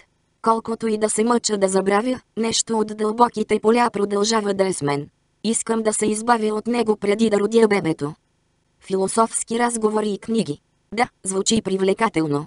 Сигурна съм, че към нас ще се присъединят и други. Кръстоносецът е проста душа, каквито са повечето от приятелите му, но сред призрачните обитатели на замъка има и такива, които биха се радвали на спокойния разговор. Отлично. Хайде да се срещнем някой от следващите следобеди. Опитвам се да пазя вечерите си за Джон. Виещата жена се завъртя и я погледна. Сиво-зеленият ти поглед проникна през веселите нотки, с които беше споменала за съпруга си. Страхуваш се, че те пренебрегва, нали, Ейрадис? Боиш се, че тук във верите си загубила нещо от любовта му. Така ли е? Да, едва доловимо промълви тя. Джон Дарси Донърджак те обича също толкова силно. Повярвай ми, ако изобщо можеш да вярваш на същество с репутация като моята. Той дълбоко съжалява за сделката, която е сключил с господарката на изгубените, за да те върне обратно. Вече я помоли да приеме нещо друго в замяна на детето ви. Господарката на дълбоките поля отказа. Голяма част от работата, която Донърджак върши, цели да попречи на смъртта да си поиска дължимото. Защо не разговаря за това с мен? Призрачният кръстоносец с дрънчене се приближи до тях. Веригата му изглеждаше по-здрава от преди и като че ли още повече затрудняваше движенията му. Защото, моме, той е мъж и има глупава мъжка гордост. Страхува се, че ще го укоряваш за онова, което е сторил, и не иска да те плаши. Но изобщо не дай се съмнява, че те обича, теб и мъничката рожба под сърцето ти. Джон. Ейрадис застана на колене и вдигна няколко бутилки от брега. Войт, помогни ми, моля те. Трябва да ги покажа на Джон. Той иска да му разкажа за приключенията си. С удоволствие, госпожо. Трябва да побързам. Не искам да пропусна вечерята. Според моя часовник ви остават още няколко часа, господарке. Чудесно. Тя се обърна към трите призрака. Лицето й изглеждаше тъжно и все пак странно грееше. Не възразявате, нали? Ни най-малко. Ние имаме много време, време за сънуване, време за проучване. Върни се при господаря и му разкажи всичко, което видя днес. Благодаря ви. Ей ради с разпери ръце, сякаш искаше да прегърне безплътните си спътници. Толкова ми помогнахте. Пак ще го направим, нали? Един по един призраците кимнаха и един по един изчезнаха. Тя подаде последната бутилка на робота, после се завъртя с гръб към подземното море. Плисъкът на вълните в чакалестия бряг и прати с Богом. През месеците след срещата си с гайдаря Джон Дарси Донърджак не чуваше воя на банши, макар че в подземията, погрешно наричани тъмници, от време на време се разнасяха странни звуци и призраците продължаваха да блуждаят из коридорите на замъка Донърджак. Я кажи, каза той, когато се сблъска с призрачния кръстоносец, придружен от много по-нисък дух, понесъл главата си под мишница, кой е твоят приятел? Той е от 16 век, отвърна кръстоносецът, и имало нещо, свързано с външна политика, затова старият господар нареди да го обезглавят. Наричам го Малчо. По-ниският призрак повдигна главата си за окървавените и кичори му се ухили. Устните му се сгърчиха. Добър ден, каза той. Последва ужасяваща усмивка, след което устата широко се отвори и нададе страшен крясък. Донърджак отстъпи и попита. Защо правиш така? Длъжен съм периодично да надавам пред смъртния си вик, отвърна другият. После го повтори. Трябва да е било зрелищна гледка. О, наистина беше така. Всички ученици бяха освободени, за да присъстват, макар че тук беше устроено специално представление за познатните и всички много се забавляваха за моя сметка. Той отметна кичурите от челото си. Обърнете внимание на отсъствието на уши, например. Не успях да открия даже астралните им аналози, за да ги нося в джоба си, докато блуждая. Господи! И в какво те обвиниха? В отравянето на един куп дребни благородници и заговор за отравянето на местния господар, да не споменавам за онези от кралския двор. О, в своето невежество онези хора са проявили невероятна жестокост. Не знам за невежеството им, но останалото наистина беше жестоко. Какво искаш да кажеш? Палачът може да те накара да признаеш много неща, понякога даже истината. Искаш да кажеш, че наистина си отравител и заговорник ли? Малчо няма да признае нищо повече, каза призрачният кръстоносец. Безглавият отново извика и започна да избледнява. Не трябваше да говориш така, поясни другият и разклати веригата си. Припомни му за вината му и още повече влуши нещата. Беше си добре смисълта за липсващите си уши изпразника в негова чест, така да се каже. Ако си спомниш името си или някакво важно събитие, и с теб ли ще се случи така? Не зная. Трудно е да се каже. Навярно бихме могли да проверим. Не, не дайте, господарю. Не се знае какво може да предизвика това. Предпочитам да открия, когато му дойде времето. Но, най-добре не се намесвайте в естественото развитие на нещата. Повярвайте ми, и той угасна като пламъче на свещ. Фаталистични глупости. Изсумтя Донърджак. Понякога единственият начин е да се намесиш. Излезе при бойниците и усети, че студеният вятър го опръсква с няколко капчици дъжд. Меко време. Замисли се за смъртта, ей ради си неродения им син. Просто не беше честно. Даваше на господарката на дълбоките поля палат, какъвто никой друг не бе виждал. Не беше справедливо да й дари и плода на любовта си. Трябваше да има някакъв изход. Не можеше ли да изобрети средство, за да направи замъка Донерджак недостъпен за смъртта? Той се засмя. Лош избор на думи. Нищо не можеше да бъде изолирано от смъртта. И все пак това го наведе на нова поредица от мисли. Бе убеден, че господарката на дълбоките поля не желая момчето мъртво. Тя искаше да отведе бебето в детската стая в мрачния си дворец живо. Защо? Започна да се разхожда по бойниците. Влажният вятър развяваше косата му. Замисли се за въпроса, на който някога не беше обърнал внимание. За какво можеше да използва детето смъртта? Като пратеник? Но тя със сигурност бе в състояние да си създава пратеници, когато имаше нужда от тях. Не, трябваше да е нещо друго. Дали просто нямаше да е забавно да има жив паш в новия си дом? Вероятно, Разликата сигурно щеше да й достави естетична наслада. Трудно можеха да се предполагат мотивите на толкова непознато създание.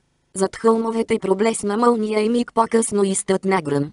Нямаше смисъл да губи времето си в догадки, след като не разполагаше с нужната информация. Първо трябваше да открие как смъртта е успяла да върне Айрадис във верите, вместо във Вирто и как е направила така, че жена му да забременее. И двете неща не бяха теоретично възможни.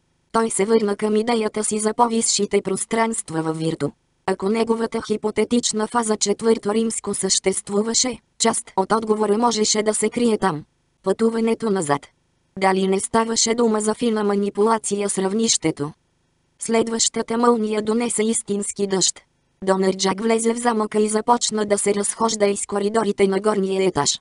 Ами ако обединеше теорията за Вирту и включеше предположението за фаза четвърто римско, ако се окажеше действено, това можеше да обясни всички аномалии на пространството, от хаоса на сътворението до хипотезата за обратното развитие във времето и включването на данни, до които мястото очевидно нямаше достъп. Ако постигнеше това, той беше убеден, че ще е в състояние да открие и по-практични приложения. През следващите дни, а понякога и нощи, Донерджак се посвещаваше на този проблем винаги, щом успееше да се откъсне от проектирането на двореца на смъртта. Опитваше се да работи без машини, използваше бележници, моливи и старовремски ръчни калкулатори. Когато се нуждаеше от компютър или използваше своето кътче от виртузагеданкен експеримент, той незабавно прехвърляше резултатите в бележниците си и правеше всичко възможно, за да изтрие следите от работата си в другия свят. Чувстваше, че отговорът може да се крие в хаоса на сътворението. Върна се в ден първи, но дори тогава нещата бяха прекалено сложни. След това стигна до първия час, но не успя да открие условията, за да коригира уравненията си. Освен това Вирту, изглежда, не можеше сама да документира историята си. Различните опити за симулация даваха различни резултати. Той прехапа устни, отпусна се назад и зарея поглед към стената. За пръв път от 10 години си помисли за Ри Джордан Уорън Банса.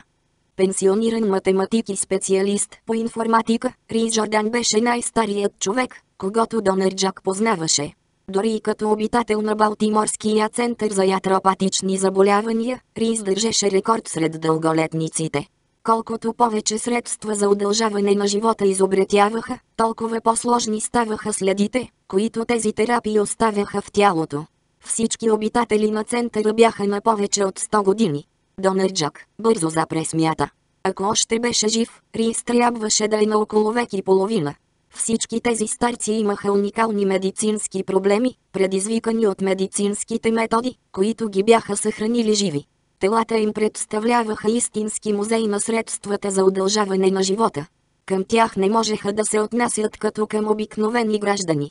От друга страна, научната им стойност далеч надхвърляше разходите за поддържането им. Всеки път, щом някой от тях получеше криза, трябваше да се разработва нова терапия за конкретния случай. А сега Ри Жордан, ако разумът му все още бе непокътнат, можеше да се окаже ценен консултант. Той беше присъствал и работил в мрежата, когато чашата бе приляла, довеждайки до срива на единната система на света. Един час по-късно, когато частите й се бяха свързали, се беше появила Вирту. Той бе написал по въпроса много статии, и научно-популярни, и технически. Години наред го бяха канили като лектор. Някои от първоначалните му идеи вече се смятаха само за любопитни, но той несъмнено беше един от най-големите авторитети в областта на електронната сянка на света. Донерджак отиде до един от терминалите, намери номера на центъра и го набра. На екрана се появи идеализирано мъжко лице, прок, разбира се. Център за ятропатични заболявания, каза той. Какво обичате? Ри Жордан още ли е там? Попита Донерджак. Да. Мога ли да разговарям с него? Страхувам се, че в момента не е възможно. Добре ли е? Не ми е позволено да обсъждам състоянието на обитателите на центъра. Не исках да кажа това. Въпросът ми е дали, когато стане възможно, той ще е в състояние разумно да разговаря с мен? О, да.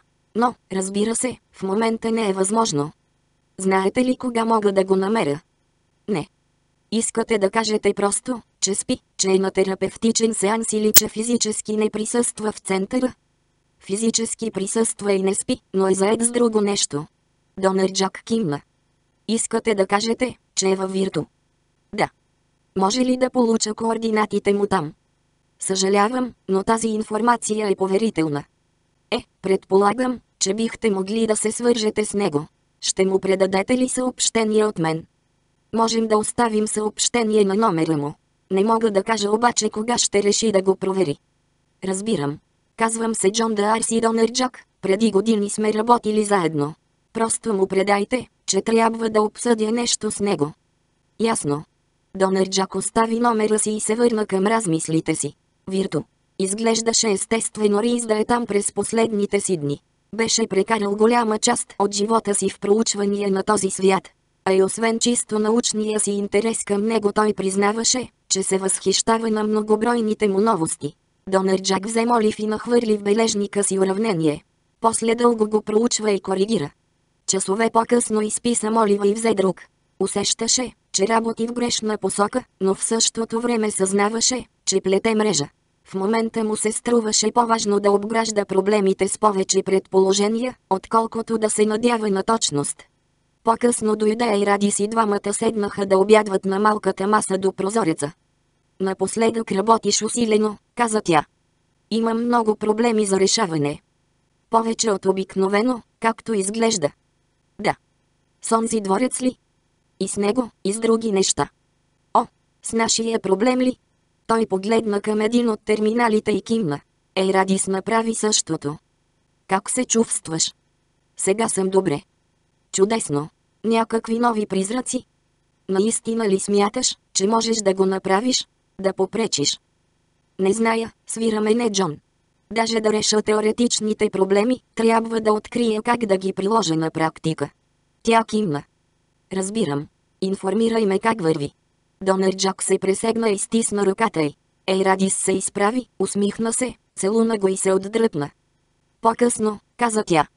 По-късно, съгласи се той и се върна към работата си. Не знаеше колко часа са минали. Когато се съсредоточеше, губеше представа за времето. В един момент чуда викат името му. Донърджак. Гласът му прозвуча познато. Той повдигна глава и се огледа. Да. На сцената ти съм. Донърджак скочи на крака и възкликна. Рис. Точно така. След като получих номера ти, реших да намина, вместо да ти се обаждам. Отдавна не сме се виждали. Така е. Донърджак отиде до липсващата стена на сцената от лявата му страна. О, божичко! Усмихваше му се висок мъж с буйна тъмно кестенява коса. Носеше дънки, маратонки и зелена спортна риза. Изглеждаше 30 на годишен. Видът ти е. Не дай ми завижда, отвърна Рис. Това е образ. Истинското ми тяло лежи в кома и изглежда полумъртво. Медицинските и пак работят, тъпушек се вдига, проучват други клонове освен семейството на маймуните и разработят ново лечение. Време е да направим още малко медицинска история или да спуснем завесата. Съжалявам. Не дай. Живях повече от останалите и още се наслаждавам на света. Бил съм навсякъде, правил съм почти всичко, чел съм няколко велики книги, обичал съм няколко прекрасни жени и съм си сътрудничил на равни начала Джон Д'Арси Донърджак и Уорън Банса. Донърджак извърна очи. Ти си бил там, нали? Накрая попита той. Успяха ли да разберат какво се е случило с Уорън? Рис поклати глава. Изобщо не откриха тялото му и нищо, свързано с него. Не ми е известно някой друг да е скочил с парашут и да не е стигнал до земята. Жалко, че беше толкова добър фокусник. Всичко това само размъти водата. Когато журналистите свършиха, всички следи бяха студени, информацията изопачена. И онова проклето писмо. Пишеше, че щял да изпълни най-великия си фокус. Не са ли открили други писма или дневници? Не. И той е един от малцината, които ми липсват. Чудя се дали накрая не е работил по нещо. Статия за естествените геометрии на Вирту. Наистина ли? Никога не съм я виждал. Публикувана ли е? Не. Даде ми да я прегледам в ръкопис. И умря преди да успея да му я върна. Интересна ли е? Всъщност само бележки. Трябва още много работа. Но да, като си помисля сега, наистина е интересна. Странна. От години не си бях спомнял за нея. Сега съзнавам, че в нея има нещо, за което исках да поговоря с теб. Пазиш ли я още? Бих искал да я прегледам. Не зная. Нямам представа къде да я търся. Е, какво искаш да обсъдим? почакай малко. Донърджак отиде до бюрото си и взе бележниците си. Когато се върна, влезе в голямата сцена. Работя по някои неща, за които искам твоето мнение. Рис погледна към бележниците и отбеляза. Като че ли има много материал. Ами. Предполагам, че е така. Тогава ще те помоля да влезеш във Вирту и да се върнеш заедно с мен на мястото, от което току-що идвам. Можеш да сканираш тези данни и да ги прехвърлиш там. Не ми харесва идеята да ги прехвърлям където и да било, отвърна Донърджак и потърка носа си. Какво му е толкова специалното на адреса ти във Вирту? Диференциалният времеви поток, който разработих за него. Няколко минути реално време там се превръщат в няколко часа. В такъв момент предпочитам да съм там. Разбирам, каза Донърджак. Ако ми дадеш координатите, след малко ще дойда при теб. Рис кимна и му ги съобщи. После се завъртя и започна да се отдалечава. Скоро достигна точката на изчезване и мина през нея. Донърджак отиде в друга част на огромния си кабинет, влезе в малка кабина, направи необходимите настройки, вкара координатите, после се отпусна по гръб. По-късно се изправи, облечен в тъмно-зелени панталони и лекариза. Стоеше в сенките на гъста гора и чуваше шум от падаща вода. Донърджак се насочи към него и стигна до малка поляна, покрита с пъстри цветя. От отсрещната страна се издигаше покрита с пълзящи растения 20 на метрова канара, която се очертаваше на синия фон на небето. В подножието и по поляната бяха пръснати няколко големи камъка, сякаш нарочно оставени за ефект. Наляво от него водопадът се изсипваше в поток от 15 на метра височина. Високо горето се появяваше, то изчезваше дъга. На един от по-малките камъни в подножието на скалата седеше Рис, обгърнал краката си с ръце и опрял брадичка на коленете си. Когато Донърджак се появи на поляната, той се усмихна. Добре дошъл в моето скривалище, каза Рис. Защо не седнеш? Той протегна ръка и потупа съседния камък. Твой проект ли е? Попита Донърджак. Номерът с времето и всичко останало. Рис кимна. С помощта на и на Джиния Слоуки, прибави той. Донърджак се приближи и седна. Искаш ли да те запозная с нея? Попита старецът. Може би по-късно, макар че времето е едно от нещата, които трябва да включа в моята теория на полето. Доброто старо време, мой вечен съперник и приятел, въздъхна Рис. Образът на вечността, както го нарича Дейвид Парк в книгата си с същото заглавие. Той постулира време първо римско, което действа определено, и време второ римско, което не действа така. Време първо римско е времето на термодинамиката, време второ римско е субективното човешко време. Написал я е точно преди разработването на теорията на хаоса. Само няколко години по-късно е щяло да се получи съвсем различна книга. Въпреки това е прекрасна. Освен физик той е и философ, защото е напълно прав, поне до там, докъдето стига. Искаш да кажеш, че не е стигнал достатъчно далеч ли? Той не е имал възможност да си играе с Вирту като нас. Но физиката на Вирту изглежда случайна. Заради привидно изкуствения си характер, Вирту е склонна към аномалии. Радвам се, че го казваш, като имам предвид труда на Веркор върху съвършената нестабилност. Рис повдигна вежди. Веркор греши. Ако имах време и желание, щях да го опровергая. Във Вирту съществуват универсални принципи. Но се съмнявам, че ще имам време да го докажа. Нали работеше през всички тези години? Никога не съм преставал да работя. Просто престанах да публикувам. Ако не успея да довърша записките, ще ти ги завещая. Благодаря. Но предпочитам да ги довършиш. Не знаех, че си в толкова добра форма, но щом. Външният вид лъже. Исках да кажа умствено. Имаш ли представа как ще се оправиш? Няма да се обзаложа с теб и да си прецакам късмета, отвърна Рис. Така постъпват статистиците. Както и да е, какво искаш да знаеш? Струва ми се, че искам пак да работим заедно. Рис се подсмихна. Мисля, че този път няма да мога, Джон. Това може да са последните ми часове. Както казах, ще ти завещая записките си. Не дай да очакваш нищо повече. Тогава нека те питам нещо. Добри ли са специалистите в Центъра за ятропатични заболявания? До сега са ме спасявали на няколко пъти. Трябва да им го призная. Просто си мислех, че ако се наложи да ти предоставя възможностите на института Донърджак, с радост ще го направя, независимо от това дали ще работим заедно. Винаги си бил щедър, Джон, но не зная дали ще има някаква полза. Няма как да разбереш, ако не провериш. Спомни си, че на времето моята фундация сериозно се занимаваше с разработване на медицинска техника. Нека открие начин да свържа моите данни с техните и ще видим какво ще се получи. Даже да не стане, никому няма да навреди. А ако даде резултат, може и да открием нищо. Добре. Тогава да го направим колкото можем по-бързо. Готово, отвърна Донърджак и штракна с пръсти. Иззад един от камъните се появи мъж в смокинг. Викахте ли ме, господине? Виках някой не толкова официален. Съжалявам, мина много време. Така и всъщност някой друг търсеше достъп, доколкото си спомням. Внезапно мъжът се преобрази. Сега носеше тъмно-зелени панталони и спортна риза с дълъг ръкав. Отлично, каза Донърджак. Искам да се срещнеш с някого по медицински въпрос. Мина много време. С кого? Си и от Центъра за ятропатични заболявания. А, Сид. Познавам го още откакто започваше. Тък му той започна да ме нарича Парацелс. Шегуваш се. По мое време не беше прието и да се шегуват, освен ако не си специалист в областта, разбира се. Си. И. Айлс трябва да си бил от едно поколение. Какво мислиш за него? Какво мога да кажа за първия и комедиант? Беше велик. Познавах го.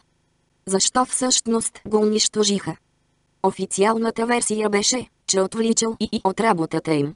Постоянно повтаряли номерата му. Това не може да е вярно, като се има предвид колко много неща сте в състояние да вършите едновременно. Наистина. Ало, господа, каза един елегантен мъж с кафяви очи и къса брада, облечен в тъмен костюм. Лично познавам доктор Джордан и ми е известна репутацията на доктор Донърджак. Как си, Парацелс? Чудесно, отвърна другият. Струва ми се, че в миналото вие двамата сте работили за кратко заедно, рече Донърджак. Какво ще кажете да проверите дали можете да го направите и сега? Мисля, че не съм упълномощен да изпълня такава процедура, отвърна Сид. Парацелс, ти имаш разрешение, каза Донърджак. Приготви се. След малко ще се свържа с шефовете на Сид. Аз ще се заема с това, отвърна Рис. Добре. Парацелс и Сид се поклониха и изчезнаха. Остани при мен, Джон, прибави Рис. Чувствам, че ще е скоро. Разбира се. Някога виждал ли си лъчистата мъглявина? Да. При какви обстоятелства? Видяха, когато умря жената, по-късно станала моя съпруга. По-късно станала твоя съпруга ли? Да, периодът на ухажването ни беше извънредно странен и ни доведе на това място. Времеви парадокс. Пространствен. По какъв начин му въздейства? Не съм. Отидох на място, наречено дълбоките поля, и помолих смъртта да я върне. Сигурно се шегуваш. Няма такава. Има. Точно така я върнах. Но това доведе до странни резултати. Разкажи ми. Ще ти разкажа, докато чакаме. Добра идея, рече Рис. Улавянето на падащия диктофон не беше случайен късмет. Артаридън продължи да проверява новата си способност около седмица, определи границите и възможностите и откри повече от достатъчно доказателства, за да убеди себе си или когото и да било друг, че вирт силата е действителна. И продължи да я изпитва, докато мислеше какво да прави. Струваше му се, че е най-разумно да я запази в тайна. Ако съобщеше на елишитите, че е развил телекинетична способност, можеше да привлече вниманието им към себе си, към Имануел Дейвис, внимание, на което не бе убеден, че фалшивата му самоличност ще издържи. Но още докато мислеше по този въпрос, Артаридън знаеше, че няма да постъпи така, щеше да избере по-опасния подход, да съобщи на жреците и да види какво ще направят те. Опита се да оправдае решението си с научен интерес, с желанието да направи проучването си колкото може по-добро, но разбираше, че има друга, не толкова безкористна причина. Той протегна ума си, повдигна диктофона и го пренесе към себе си. После активира личния си дневник, съобщи датата и продължи. След следващата среща ще помоля жреците да ме приемат и ще им демонстрирам новата си способност. От досегашните си наблюдения зная, че това ще доведе до незабавно повишение, нещо като награда. От моето равнище на посвещаване имаше неколци на такива избрани. Всички те са непоносимо самодоволни и обикновено бързо ги повишават в следващото равнище. Не мога да пропусна такава възможност. Като предохранителна мярка ще прибавя още пластове към самоличността на Дейвис. Идън замълча, прослуша записа, замисли се до каква степен иска да е откровен дори с себе си и продължи. Трябва да подчертая, че решението ми е мотивирано от научен интерес, но има и друга причина, която не смея да изрека и само прошепвам, докато разклащам към банките с телек и нетичен вятър и после карам чашата с чай да долети в протегнатата ми ръка. Сила. Загатване за лична божественост, каквато обещават повечето религии и каквато не е известно да е дала никоя друга. Във Вирту мнозина си играят на богове, но единствено елишитите са открили средствата да ни превърнат в богове във верите. Трябва да науча повече преди да ги напусна. Той изключи диктофона, без да го докосва, остави го върху масата и отпи от чая си. С спускането на нощта в стаята около него се смрачаваше. И да не забелязваше това, неограничени възможности огряваха вътрешния му свят. Демонстрацията на Идън Дейвис премина отлично. Наставничката му, ниска, топчеста азиатка, която наричаше себе си звездата на Иштар, го беше отвела в стаичка във верите, където и показа, че е способен да повдига различни малки предмети и да манипулира с тях приблизително с сръчността на човек, носещ дебели ръкавици. После го прехвърли в Елишитски параклис във Вирто и му каза да се моли за просветление преди да излезе оттам под формата на голям бял гълъб. Параклисът се различаваше от онези, които Артаридън бе виждал до този момент по време на проучването си върху църквата на Елиш. Липсваха му възможности за побиране на голям брой богомолци. Светилището напомняше на амфитеатър. На най-низкото равнище имаше полирани пейки от рядък порфир, а подът беше тапициран с мека материя за коленичене. Коленичилите можеха да отпуснат ръце върху филигранен парапет от слонова кост, който в същото време отделяше светилището от останалата част на Параклиса. От другата страна на парапета започваха ниски стъпала, водещи към кръгъл подиум с статуя в чест на победата на Мардук над Тиамат. Една от отсечените глави на Тиамат лежеше на известно разстояние от композицията и можеше да служи за церемониален ултар. Идън се поклони пред ултара. Искаше му се да е взел със себе си някой от записващите си проги. Той, коленичи и започна да рецитира молитвите, които беше научил по време на обучението си. Не знаеше кой може да го наблюдава и не искаше да изглежда прекалено въодушевен, макар че вътрешно се чувстваше извънредно доволен. Много внимателно повтори молитвата два пъти и тък му я започваше за трети, когато го ужаси внезапна мисъл. Дали проверяваха самоличността му? Може би бяха открили пролука в фалшивата идентичност на Дейвис? Тялото му в кабината за прехвърляне бе толкова уязвимо. Идън с необичайна яснота си спомни заявленията, които беше подписал при постъпването си в църквата на Елиш и още по-строгите правила при посвещаването му в жречески сан.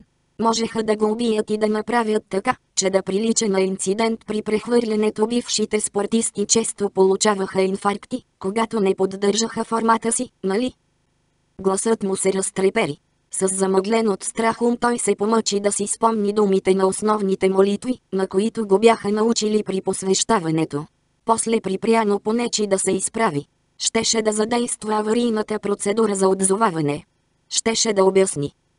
Откровение ли, брат Кодайвис? Гласът го сепна, все едно, че бяха плиснали в лицето му кофа вода. Мъжки глас, силен, дълбок, с насмешливи нотки. Идън се поколеба. Не знаеше дали отново да падне на колене или да се изправи напълно. Краката му се плъзгаха по гладкия мраморен пот и той не успя да направи нито едното, нито другото. И щеше да се строполи по задник, ако не го бяха подхванали. Внезапно се озова лице в лице седър червенокос мъж, навярно около 35 годишен, макар че в тази вирт форма можеше да е на всякаква възраст. Лунички покриваха чипия му нос, светло-сините му очи бяха заобиколени с мрежа от бръчки, които говореха, че прекарва много време на открито. Носеше проста черна памучна роба, напомняща на японска хакама. Аз. Хе-ме. Благодаря, успя да изрече Идън. Моля. Аз съм Рандал Келси. Елате, седнете на тази пейка. Идън се подчини. Келси спокойно се настани на едно от стъпалата, водещи към светилището, и се облегна на парапета на ултара. Изглеждахте така, сякаш ви е проговорил някой от боговете, брат Кодайвис, след малко каза той. Аз. Идън се овладя преди да признае действителната причина за слабостта си. Изведнъж осъзнах невероятното значение на случилото се. Преди сестра звездата на Иштар да ме остави сам да се моля повече мислех как ще издържа изпитанието и се страхувах, че дарбата ще ме напусне. После всичко свърши и разбрах. Той нарочно остави изречението недовършено. Разбрали сте, че сте били докоснати от божественото и че боговете са ви превърнали в нещо, каквото преди не сте били. Рандал Келси замълча и накрая Идън започна да се чуди дали не очаква от него да му отговори, но дори да беше така, моментът вече бе отминал. Той продължи да чака и в паракли се влетяха три крилати змии. Те се понесоха пред Келси и червенокосият им каза думи, които Идън не разбра. Всяка от змиите не надхвърляше по големина червеите, които Идън беше изравил като малък в зеленчуковата градина на майка си, за да ги използва като примамка за риба. Дали някога бе улавил нещо? Помъчи се да си спомни, но успя да си представи само подпухналите розови градинки, които се гърчеха на кукичката му, неестествено чисти от водата в потока. Вярвате ли в боговете, Имануел Дейвис? Идън подскочи, когато гласът го откъсна от спомените. Дали не беше задрямал? Сега змиите пърхаха пред лицето му и люспите им блестяха като скъпоценни камъни. За миг му се стори, че въпроса е задала една от тях. Вярвате ли в боговете, Имануел Дейвис? Повтори Келси. Повече от всякога. Повече от нищо може пак да е нищо. Така е. И да нареши, че в този случай ще е най-добре да е искрен. Учителите му вече знаеха, че често задава въпроси. Ако ме питате дали вярвам конкретно в Енлио, Енки и Штари всички останали, ще ви отговоря така. Вярвам, че съществуват божества, които намират тези имена и съответните им образи за също толкова удобни, колкото и всички други. Но ако ме питате дали вярвам, че са идентични с божествата, които са били почитани в зората на писаната история в плодородния полумесец, ще трябва да отговоря отрицателно. Разбирам. Ерес, Предпочитам да го наричам метафизическо предположение. Във всеки случай, вярата ми не противоречи на учението на църквата. Дори в първите уроци ни учеха, че формата и името са метафори за нещо по-основно. Така е, но какво ще кажете за вярата? Вярата е даденост, тя не може да се научи. Поне така винаги съм смятал. Вместо нея предлагам почет. Придобиването на виртсила не промени ли мнението ви за божествеността на онези, които църквата на Елиш боготвори?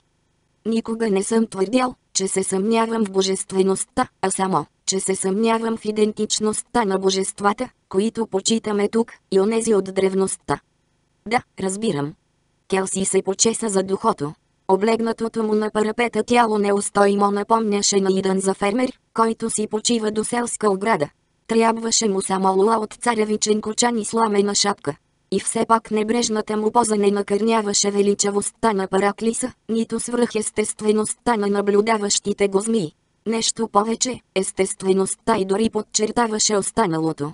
Въпреки липсата на златна корона или скъпоценна митра инстинктивно разбираше, че се намира в присъствието на виз жрец, който може да нареди да изключат захранването на прехвърлящата му кошетка, затова реши да претегля отговорите си с извънредно внимание.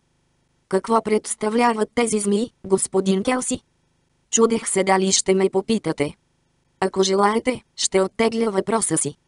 Не, няма нищо. Това са записващи проги, освен всичко останало. Келси махна с ръка и змиите се отдалечиха от Идън. Кажете ми, брат Кодайвис, какво е божественост? Вид за обикаляне на истината. Келси се усмихна. Радвам се, че имате смелостта да го кажете, Дайвис. Когато дойдох, изглеждахте извънредно неуверен. Е, какво е божественост? Идън се замисли какво да премълчи. Имануел Дейвис беше учен библиотекар, така че отговорът му трябваше да говори за образованост. От друга страна, не биваше да проявява прекалени познания в областта на теологията и антропологията. Размишлявам над този въпрос още откакто ме посветиха. Трябва да разберете, че за пръв път дойдох в църквата на Елиш като турист. С повечето е така, меко отвърна Келси. Но се върнах, защото ми се стори, че в храма има нещо, когато ни казаха, че присъства божество, стори ми се, че усещам присъствието още преди да ни съобщят това. Интересно. И след време се убедих, че онова, което усещам, е еманация на божествената аура, аура, която не съм усещал никъде другаде, нито във Вирту, нито във Верите. Били ли сте в други църкви, Дайвис? В няколко. Този отговор беше предварително обмислен. Възпитан съм като баптист. Отказах се. Опитах няколко други религии, макар да предполагам, че не всички могат да се определят точно като такива. По-скоро бяха философски традиции. Накрая реших, че не съществуват окончателни отговори и че просто си губя времето. Какво ви доведе в нашата църква? Едно момиче от службата искаше да дойде и не му се щеше да е само. Тя при нас ли е? Не, не и допадна. Каза, че женското начало не се утвърждавало достатъчно. Иштар ще се почувства ужасно наранена. Честно казано, просто не й хареса. Каза, че се отнасяли с жените като навсякъде. Е, това все трябва да се дължи на нещо, нали? Разбирам ви. Пък и приятелката ми си падаше малко кучка. Струва ми се, че би и харесало да се идентифицира с Иштар, агресивен феминизъм или нещо подобно, но просто не се получи. Жалко, но се отклоняваме от темата и от вашето преживяване. Как открихте, че сте развили виртсила? Работех нещо и диктофонът ми падна. Току-що бях свършил с послушничеството си тук, протегнах ума си. Ами, той замръзна във въздуха. Незабавно ли съобщихте? Не. Упражнявах се няколко дни. Исках. Страхувах се да не изглеждам като глупак. Споделихте ли го с някой, който не е член на църквата? Не. Много добре. Не дайте да разговаряте за това с външни хора. Не ни трябват послушници, чието единствено желание е да придобият паранормални способности. Но повечето хора знаят за това, нали? Ние наистина разгласяваме новините за нашите чудеса, но повечето хора ги смятат за сензационни измислици. Ако всички научат, че някой притежава виртсила, добър, обикновен човек като например, местният библиотекар, който просто няма нужда да става от мястото си, за да свали книгата от лавицата, веднага ще заприиждат тук. Но аз не мога. Какво не можете? Не мога да свалям книгите от лавиците. Прекалено са тежки и не съм в състояние да ги хващам здраво. Келси се усмихна. Продължавайте с опитите, Дейвис, и ще успеете да направите много други, още по-невероятни неща. Безпокои ме обаче въпросът с вярата ви. Кога можете пак да излезете в отпуска? Искаше му се да отговори веднага, но знаеше, че няма да го направи. Съвсем наскоро отсъствах дълго за последното обучение тук и почти съм изчерпал отпуската си. Нов проект ли започвате? Ами почти свършвам с един, който започнах след завръщането си. Издирвам ранен готически роман по поръчка на един харвардски професор. Това включва търсене в колекцията на Девен Драпа. Тхармай ми гарантира поне едно пътуване до Италия. Изглежда интересно. Не искате ли обаче да работите за нас? За вас ли? За църквата. Можем да ви възложим някакво проучване. И част от работното ви време ще е посветено на вярата. Идън се помъчи да не изглежда прекалено ентусиазиран, но съзнаваше, че очите му са се разширили от удивление. Наистина ли е възможно? Не искам да рискувам да загубя работата си. Отнеми много време. Можем да го направим.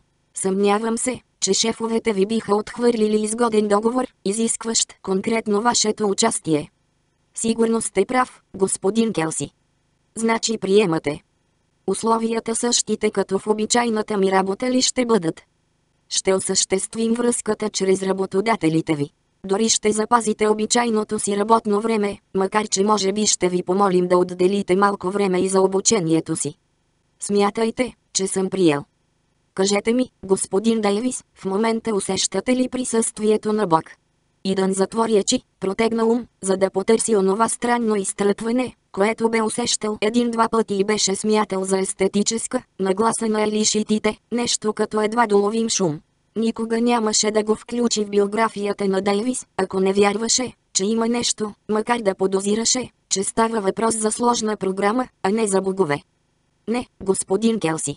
Не чувствам нищо. Честен сте. Отлично. Елате и коленичете до мен. Ще изпеем химна на божествата, които, даже да не присъстват физически, обикновено се вслушват в членовете на църквата ни. Артеридън коленичи до Келси и започна да изговаря встъпителните думи. Струваше му се, че ако разиграе картите си както трябва и внимава, ще получи научния шанс на живота си. Може би дори щеше да се запознае с основателите на тази религия и да открие най-големите и тайни. Той се усмихна и запя. 6. Вечерта, докато седеше в лабораторията си и се чудеше дали Банши ще започне да вие, или ще се появи някой призрак, Донерджак се замисли за старите дни, когато тримата Жордан и Банса бяха разработили теоретичната основа на Вирту. Както обикновено, навън валеше и мислите му се върнаха към приятелските вечери и удивителните полети на логиката. Към срещите на пица и бира. Дали все още го биваше за работата, която бяха вършили тогава, към полунощ го потърсиха от Центъра за ятропатични заболявания. Беше Холосотрис. Мъжът, който се появи пред него, изглеждаше точно като няколко часа по-рано. Ако получиш съобщението ми, започна той, значи съм преживял поредната криза. Но не зная в каква форма ще съм известно време. Ще ти се обадя. Радвам се, че не получи другото съобщение. Донърджак натисна няколко клавиша и каза. Парацелс, отдели ми една минутка. И, и се появи, облечен в бейсболен екип на Кливланд Индианс, и каза. Здрасти, шефе. Кажи ми какво стана, Парацелс, каза Донърджак. Ами, отвърна и, двамата с Сид поработихме по въпроса, определихме най-добрия начин на действие и го предадохме на прогите за изпълнение. Те го направиха и се получи чудесно. Напомни ми да те повикам следващия път, когато се почувствам зле, рече Донърджак. Междувременно, кога ще е най-добре да поговоря с Рис? Можете да го поздравите още в понеделник, но изчакайте три седмици преди да приказвате по делови въпроси. Работата е много важна. Искате ли да убиете човека, който е в състояние да я свърши? Не. Тогава направете каквото ви казвам, шефе. Той се нуждае от почивка. Ясно, съгласи се Донерджак. Рис е незаменим. Той е безценен, също като Банса, ако беше още жив. Чувал съм за Банса. Той е човекът, започнал всичко това, отбеляза Парацелс. Преувеличаваш, отвърна Донерджак. Но разработи някои нови теории за случилото се. Той все още заема няколко места в нашия най-стар пантеон, почти отбранително каза Парацелс. Не се изненадвам. Как го наричате? Гайдаря, учителя, онзи, който очаква. Струва ми се, че го познавам като Гайдара. Наистина ли? Ами. Чух го да свири и го видях. Какво можеш да ми кажеш за другите му образи? Учителя е геометрик, който е трябвало да се справи с сътворението на Вселената. Онзи, който очаква, ще вземе участие в края или преобразяването на Вирту.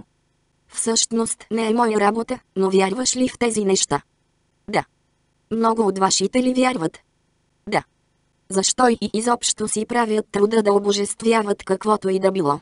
Вие сте напълно независими. За какво ви са богове, освен ако не са действителни? Те са действителни, по-действителни, струва ми се, от много образи в други религии. Ако приемем, че съществуват, какво правят за вас?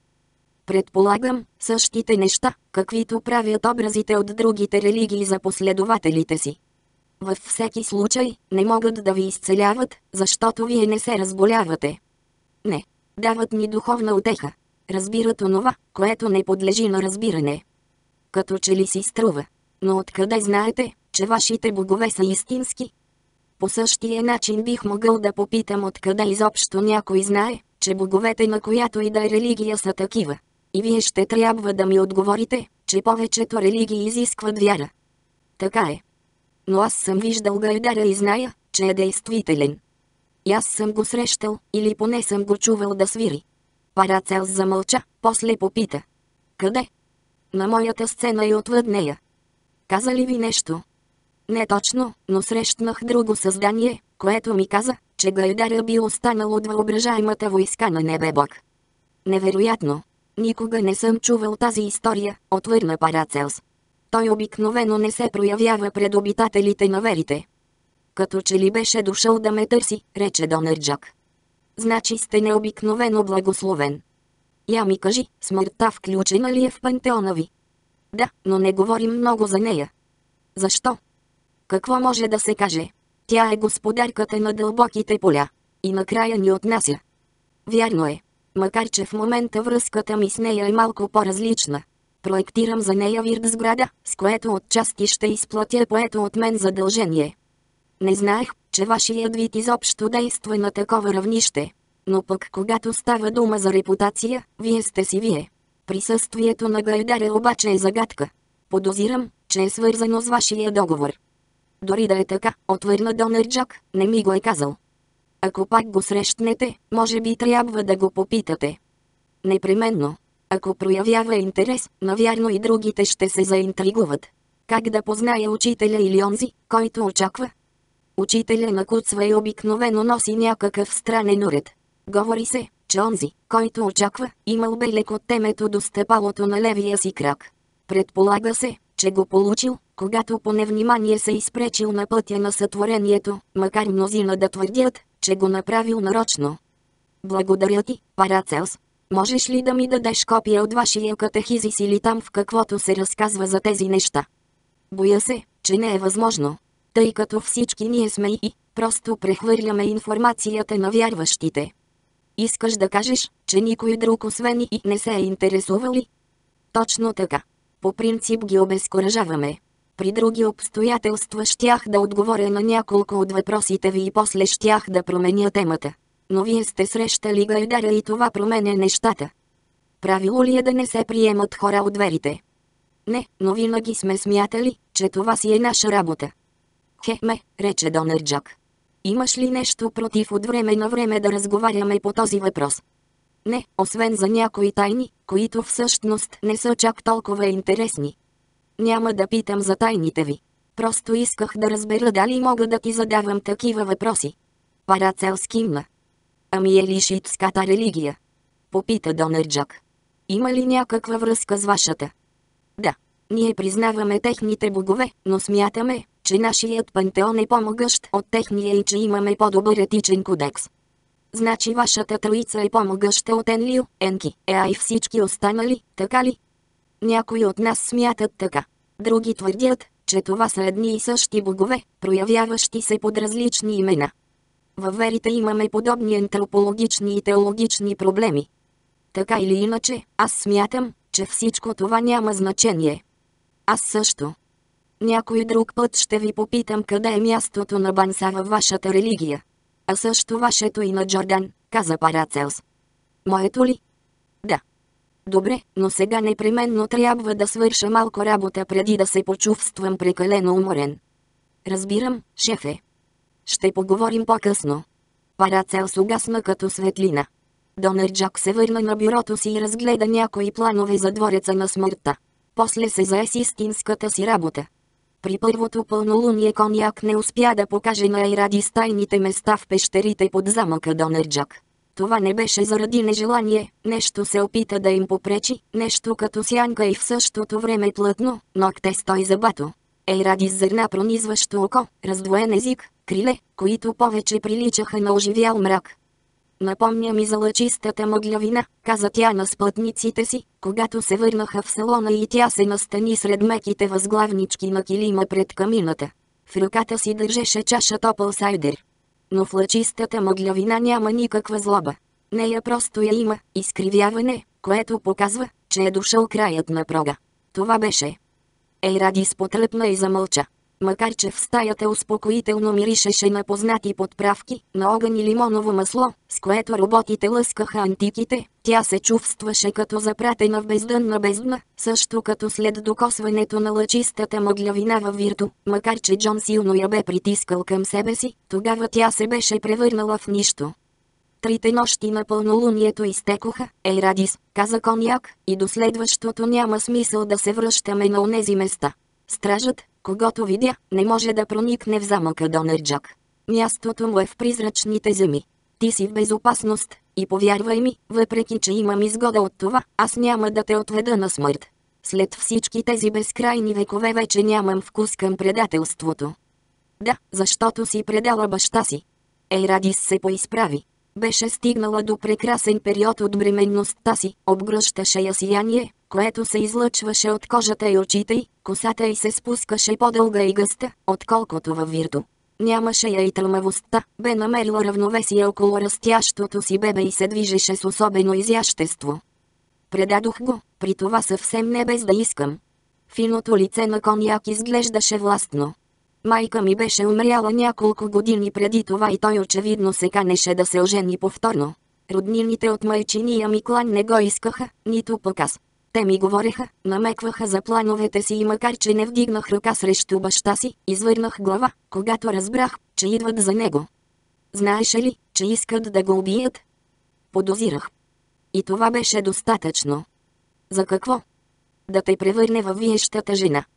Трябва да е било, щом сега съм такава. Каквато ще бъда аз.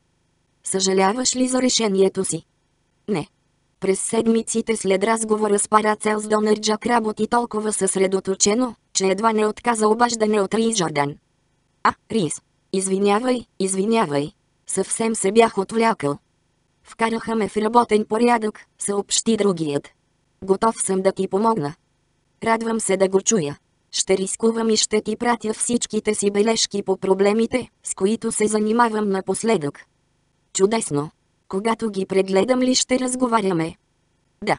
Ако се случи нещо, направи с тях каквото искаш. Какво може да се случи? Ще приложа извадки от дневника ми. Мисля, че така ще получиш достатъчно пълна представа. Радвам се, че си във форма. Донър Джак прекъсна връзката и се върна на работа. Докато луната се смаляваше и отново растеше, Ейрадис често се връщаше в тунелите. Понякога взимаше със себе си Джон. Двамата си устроиха пикник и тя му показа пещерите, подземното езеро, захвърлените на земята мечове. Той се съгласи с нея, че трябва да ги оставят там. Дори измислиха история как са се озовали на това място, като се смееха и постоянно прибавяха фантастични подробности. Но не му показа мястото, което водеше към призрачните земи. Беше изпитала смелостта си и отиде там, но не откри нищо друго освен сляп тунел. Сондите на Войт не регистрираха отвори, нито скрити кухини.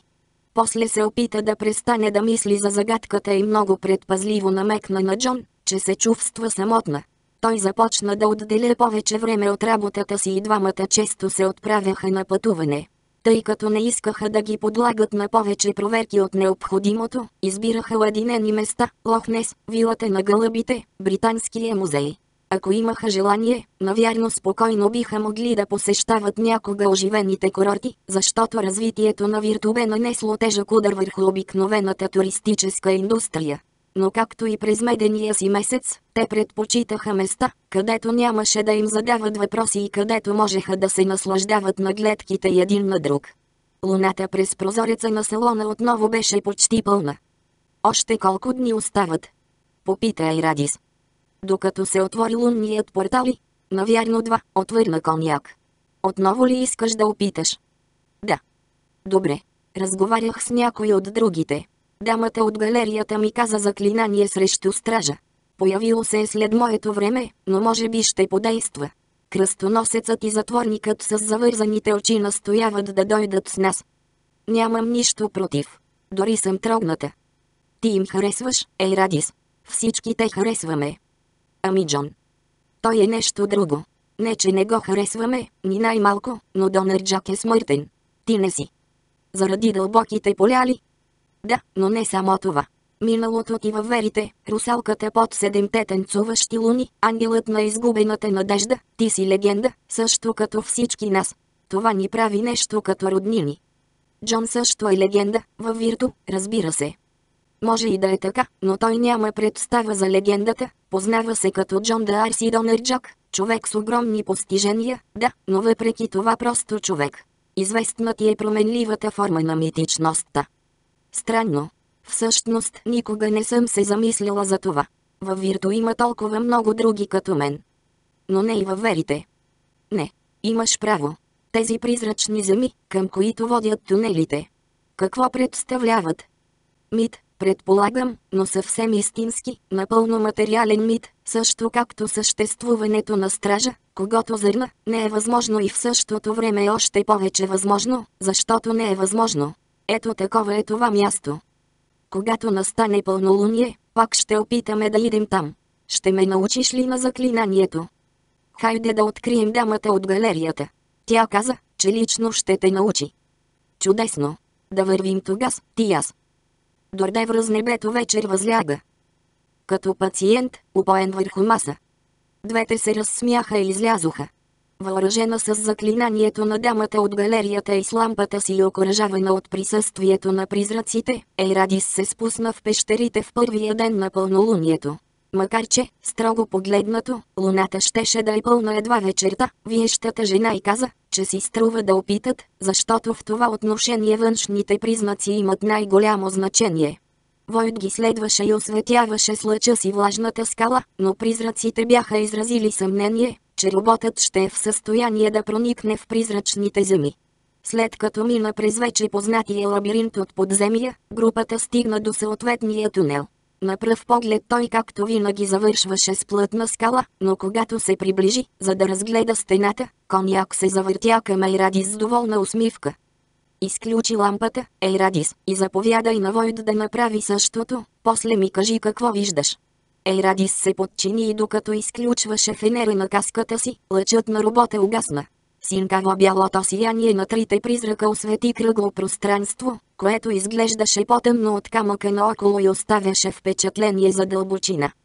Това е портал, но е различен от миналия път. Изглежда по-отворен. Имаме късмет, отвърна коняк. Стража го няма. Бързо, влизай вътре. Аз ще тръгна пред нея, каза кръстоносецът и хвана веригата си в ръка, и ще осветя тунела. Ейради спогледна назад към робота. Виждаш ли нещо, Войт? Нищо, господарке. Тогава трябва да останеш и да пазиш тук до завръщането ни. Както желаете. Тя наведе глава и влезе през кръглото пространство, като се движеше бързо, за да не загуби кораж. Останалите два призрака я последваха. Мястото, на което се озоваха, можеше да се намира на собствения им остров, защото в далечината се виждаха осеяните с скали и плажове и разбиващите се в тях вълни, също като на Норт Минч. Тук обаче нямаше нито село, нито замък. Над всичко наоколо се извисяваха няколко гранитни монолита и макар че четиримата бяха тръгнали преди обед, слънцето потъваше на запад. Чуваше се далече на ромон на река и жален писък на гайди. Ейрадис се завъртя към спътниците си и понечи да попита на къде да тръгнат, но видът им е накара да замълчи. Въпреки че беше виждала всички призрачни обитатели на замъка Донерджак да се проявяват в повече или по-малко плътни форми, в тях винаги оставаше нещо нематериално. Сега обаче тя не можеше да ги различи от обикновени хора. Призрачният кръстоносец все още носеше дрипите и веригата на глезена си, но кожата му бе мазна, а брадата му порядка. В основата на носа му минаваше тънък бял белек, но Ейрадис не вярваше, че това е раната, причинила смъртта му. Дългата роба на призрака с завързани очи се беше превърнала в свещеническо расо и порано неясният знак на гърдите му се оказа резбован дървен кръст. Красотата на коняк тук изглеждаше по-човешка, устните й бяха по-пълни, очите й грееха, косата имаше цвят на зряло жито. Изчезването на сребристото и сияние може би малко я бе лишило от прелестта й, но въпреки това виещата жена беше разцъфнала, бяла роза вместо съвършена, но неразтворена пъпка. Вие. Всички сте се променили. Ние съществуваме във верите като легенди, а на това място легендите са живи. Виж камъните, каза призракът с завързани очи, като вдигна ръка и свали превръзката си. Те се движат и смачкват онези, които се изправят на пътя им. Така намерих края си. Но ти, рече Ейрадис, струваше и се странно да срещне тъмно кафявите му очи там, където преди бе свикнала да вижда парче бял плат. Ти си облечен като християнски свещеник. Ясно ми е, че не разбирам много тези неща, но призрачните земи ми се струват по-древни от християнството. Как си се озовал тук? Баща ми последва обичая на онова време и тъй като не можеше да намери работа на всичките си синове, ме прати, аз бях проявил известна дарба за четене и смятане, да уча за свещеник. Успешно завърших образованието си и след ръкополагането ми се завърнах у дома. И всичко щеше да е наред, ако не беше гордостта ми. Уф, пак тази гордост, изпъшка кръстоносецът. Хвалех се с свещеническия сан и образованието си пред по-неграмотните си братя. След време на тях им дойде до гуша и едно пълнолуние около пролетното равноденствие ме доведоха на това място. Завързаха ми очите и ми казаха да използвам знанията си, за да намеря обратния път. Излишно е да споменавам, че не успях, и когато се насочиха към реката, за да пият вода, както правят два пъти годишно, огромните камъни ме смачкаха. Ейрадис погледна към монолитите с скептична почтителност. Каква ужасна участ! И после си се озовал в замъка, така ли? Точно така. Нещо продължава да ме задържа там, макар да ми се струва, че вече съм получил достатъчно наказание за арогантността си. Уф, гордост. Този път кръстоносецът сниши глас, но свещеникът го чу и го изгледа и сподвежди. Чувам гайда. Преди не бях сигурна, но сега пищят по-високо, каза Айрадис само за да предотврати сблъсъка между двамата. Но не мога да разбера откъде идва звукът. Мести се всеки път, щом ми се стори, че го чувам от определена посока. Искате ли да се спуснем до брега? Попита свещеникът. Гайдарят не е при водата и оттам ще е по-лесно да определим посоката. Всички се съгласиха и тръгнаха към океана, кръстоносецът отпред, понесъл веригата си в ръка, дамите по средата и свещеникът накрая.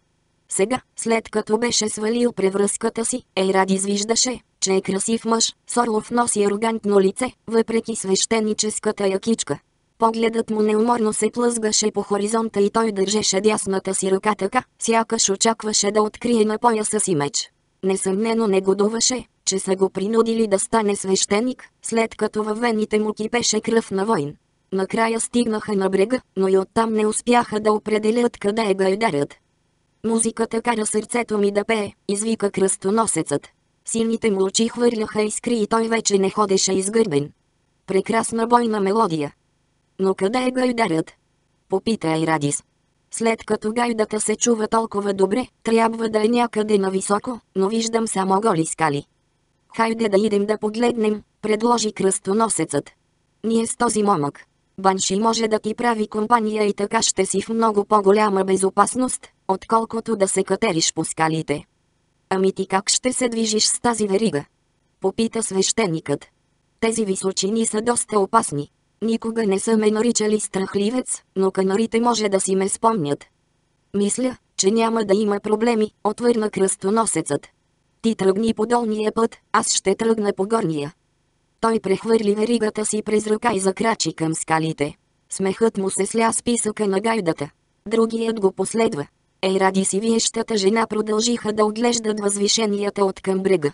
Вълните ближеха под метките на обувките и ми ги пръскаха с пяна. Онова там къща ли е? След известно време попита Айрадис. Прилича ми на къща, само че допреди малко я скриваха онези канари. Странно, отвърна коняк. Наистина е къща, но не си спомням да беше тук последния път, когато идвах. Кога е било това? Може би преди 150 години. Достатъчно време, за да са настъпили промени. Така е. Искаш ли да отидем? Гайдарят може да живее там. Щом искаш. Порталът към твоя свят би трябвало да остане отворен през следващите няколко дни. Надявам се да се прибера за вечеря. Ще се опитаме да се погрижим за това. Но ни е трудно да преценяваме времето. Часовникът ми още работи, поне доколкото мога да кажа. Ако е точен, до вечеря остават часове. Тогава да идем до къщата. Съветвам те да не ядеш и да не пиеш, докато сме тук. Старите легенди разказват, че това може завинаги да задържи смъртните във вълшебните земи. Като че ли си спомням нещо такова. Ще последвам съвета ти. Още преди да се приближат и ради извидя, че къщата е прекрасна. Беше покрита с ярко-жълта тръстика. Трябваше да е боядисана наскоро, стените в бяло, капаците на прозорците и декоративните елементи в зелено, защото въпреки близостта на океана не бе олющена. На первазите имаше сакси с червено мушкато и по край на стланите смидени черупки елейца в тяха маргаритки. Няколко кокошки се грееха на слънце. Когато се приближиха, спящата на покрива пъстра котка отвори едното си око. Здравейте! Извика и Радис, когато стигнаха до очертанията на неоградения двор. Идват гости. Входната врата почти незабавно се отвори и навън излезе поразително красива млада жена. Изглеждаше на не повече от 17 години, имаше тъмно-зелени очи и дълга до раменете руса коса. Гладката и розова кожа сякаш никога не беше докосвана от морски вятър, а зъбите й бяха съвършени и снежнобели. Макар че фигурата й бе чудесна, жената явно беше бременна, навярно от малко повече време, отколкото самата Айрадис. Здравейте! каза с американски акцент тя. Аз съм Лидия. Какво ви води на това самотно място? Ейрадис загуби дар слово. Беше си представила различни възможности, но такова нещо изобщо не й бе хрумвало. Тя отвори уста, но не успя да издаде нито звук. Коняк възвърна самообладанието си по-бързо. Аз съм Хедър, а това е приятелката ми Ейра. Разхождахме се, слушахме гайдата и видяхме къщата ти. Стори ни се неучтиво да я подминем, без да се обадим. Гайдарят е моят съпруг Амбри, поясни Лидия. Много се радвам, че сте решили да наминете. Тук е малко самотно. Тук ли? Успя да изрече Айрадис. Да, ние сме в една от дивите земи във Вирту, едно от местата, които програмистите са изгубили. Рядко се случва да се появи някой. Не се безпокойте. Амбри знае как да ви върне. Той ще ви покаже пътя, но не си тръгвайте толкова скоро. Наистина ми е много приятно да ви видя. Ейрадис успя само озадачено да кимне и да последва Лидия в къщата. Ти знаеш ли? Прошепна тя на коняк. И наистина ли се казваш Хедър? Не знаех. И наистина се казвам така или поне приблизително. Хайде да си поговорим с това момиче. Искам да разбера как толкова древно място може да е било взето за част от Вирту. Отвътре къщата бе също толкова приятна, колкото и отвън. Масата и столовете в дневната, в която ги въведе Лидия, бяха поставени върху овални килимчета, които предпазваха светлия чамов пот. Като цяло, мебелите бяха в провинциален американски стил от края на 18 век, но на влизане младата жена изключи електронен бележник. Ейради зърна дълги математически формули, които смътно и напомниха за работата на Джон. Лидия улови въпросителния и поглед. Занимавам се с теорията на интерфейса просто за да не скучая. Някои от преживяванията ми наистина ме накараха да се усъмня в конвенционалните обяснения. Отначало Амбри спореше с мен, но ми се струва, че вече съм успяла да го привлека за свой самишленик. Значи вие с съпруга си сте математици, така ли? Попита Хедър. Ами, да. Може да се каже. Не си даваме много зор, но е приятно да имаш за какво да си приказваш вечер. Както казах, тук е много ладинено. Откъде сте, ако въпросът ми не е нелюбезен? Каза Айрадис. От Нью Джерси, иски коти се Лидия. Ами вие? От Шотландия. О, чудесно! Това място дължи много на онази част от света и не само особеностите на релефа. Амбри обича да казва, че във Вирто имат място всички легенди. Нима. Сухо рече коняк. Чудя се коя ли е дошла първа. Ами, всички легенди, без да забелязва сарказма, отвърна Лидия. Едно от първите неща, които хората качили в инфомрежите, още когато използвали терминален интерфейс и телефонни връзки, била необработената информация, речници, научни статии, белетристика, индекси. Когато системата се сгромолясала, всичко това се смесило и, и погълнали ужасно много информация. Значи тази дива земя е просто някаква компютърна смесица от данни, така ли? Попита Айрадис. Така твърди теорията, изненадващо предпазливо отвърна Лидия, после несръчно промени темата, което накара Айрадис да заподозре, че е поне толкова млада, колкото изглежда. Кога трябва да се роди бебето ти? През пролетта. А твоето? Горе-долу по същото време. Наистина съм бременна. Това не е просто виртилюзия. Лидия отново бързо промени темата, сякаш като признаваше действителната си бременност, Ейрадис навлизаше в опасна територия. Сами ли сте тук? Първо ви забелязах от прозореца на горния етаж и ми се стори, че виждам още двама души. Тук сме с двама приятели, отвърна Ейрадис. Те чуха гайдата и тръгнаха към хълмовете, за да се опитат да открият гайдара. Лидия отново се изкиска. Амбри винаги свири така. Когато го срещнах за пръв път, пребродих целите хълмове да го търся. Накрая го открих, всъщност той ме откри. Ще го помоля да дойде при нас и да доведе вашите приятели. Тя отвори прозореца, наведе се навън и тихо изгука. От стрехата сънливо изпърха дебел си в гълъб. Намери Амбри и го помоли да се прибере в къщи и да доведе двама души. Лидия въпросително погледна и ради си Хедър. Двама мъже, поясни Хедър. Единият е облечен в свещеническо расо, а другият носи доста дрипави дрехи. Да доведе тези двама мъже. Гълъбът се прозя, поправи перата си с човка и отлетя, като почти незабавно се сля с сивото небе. От този момент Лидия нарочно насочваше разговора към незначителни теми. Гостенките й нямаха нищо против. Ейрадис почти не приказваше. Измъчваха я безброй въпроси. Това наистина ли беше Вирто? В такъв случай действително ли се бяха прехвърлили тук от дверите? Как бяха успели да го направят без необходимата техника? И как призраците изобщо го бяха постигнали? Нещо повече, според думите на Коняк и свещеника тези призрачни земи бяха съществували по време на смъртния им живот. Ако бе така, те датираха от преди Вирту, от компютрите.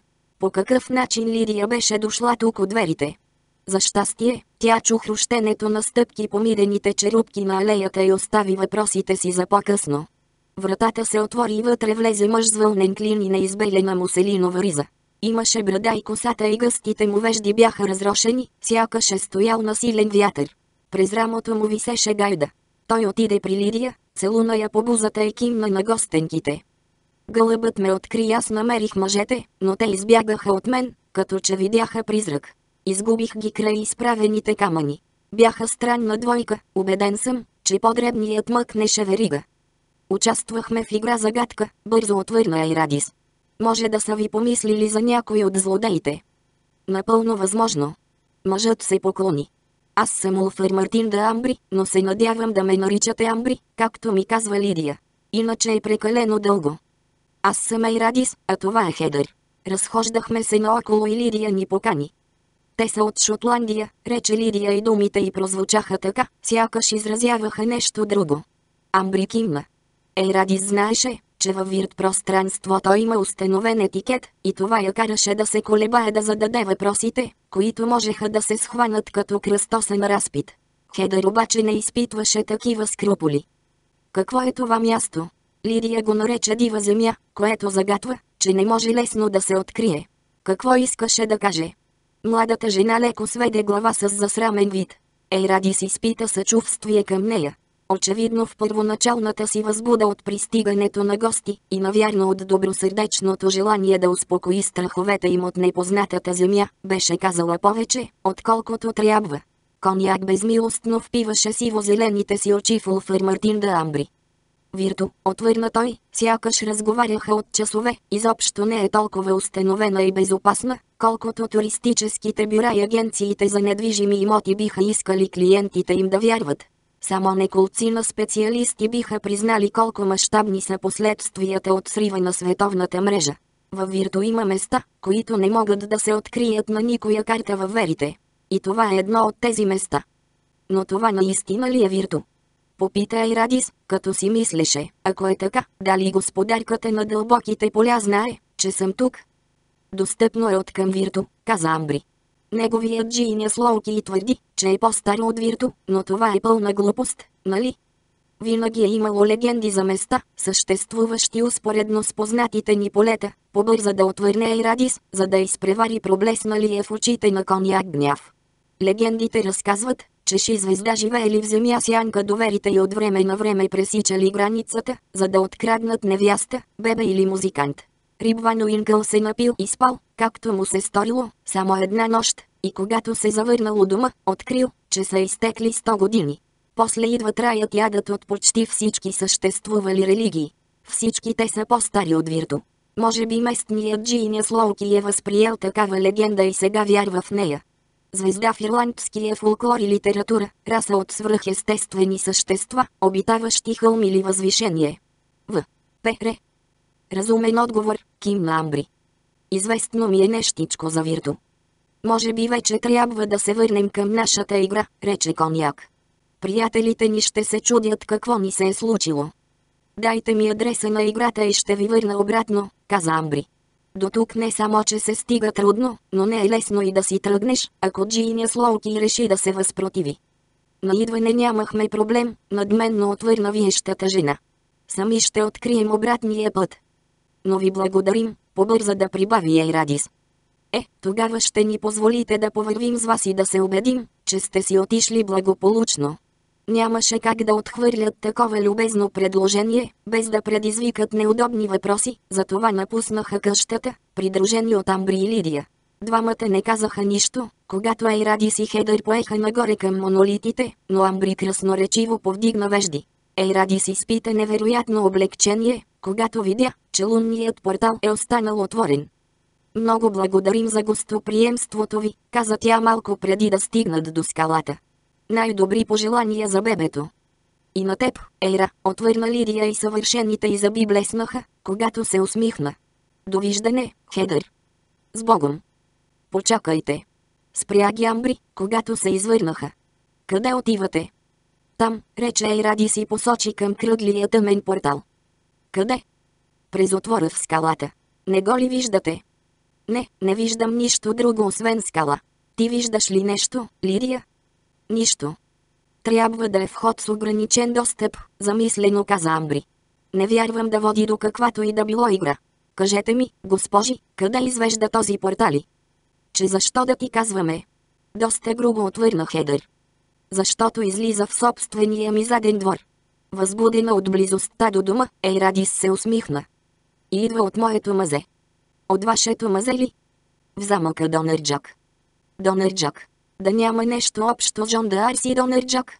Ейрадис понечи да отвори уста, но коняк я хвана за ръката и с неподозирана сила я дръпна през портала. Ейрадис се препъна и падна на пода на пещерата. Защо го направи? Попита тя, като вдигна поглед към вече безплътния, бледо сияещ призрак. Страх ме е от онова, което разбрахме днес. Не искам този човек да научава повече за теб, докато не научим повече за него. Ейрадис потръпна и това не се дължеше само на допира до студената скала. Беше странно, нали? Да. Сигурна ли си, че това място е било там преди сътворението на Вирту? Кълна се. Аз също, каза свещеникът, като се приближи до тях. Очите му отново бяха завързани. Мястото не е сайт във Вирту, или поне не е само това. Тогава какви са Уфър Мартин да Амбри и Лидия от Нью-Джерси?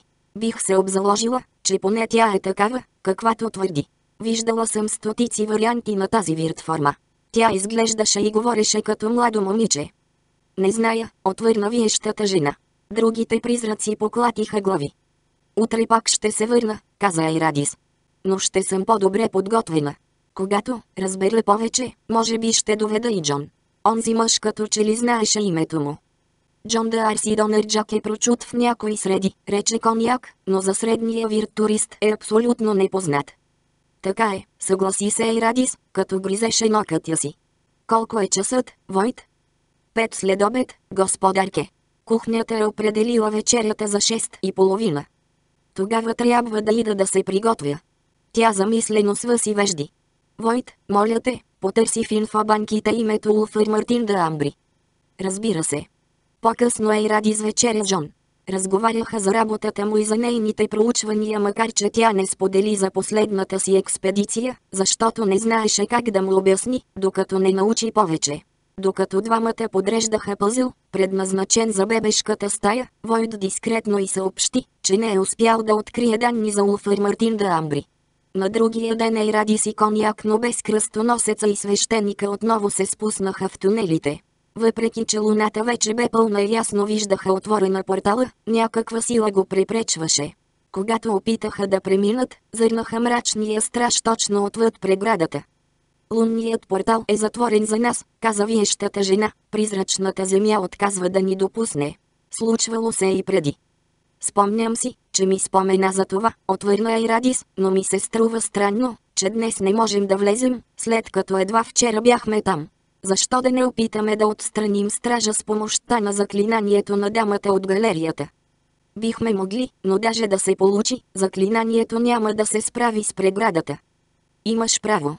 Предлагам да опитаме утре и ако не стане, да изчакаме до следващото пълнолуние.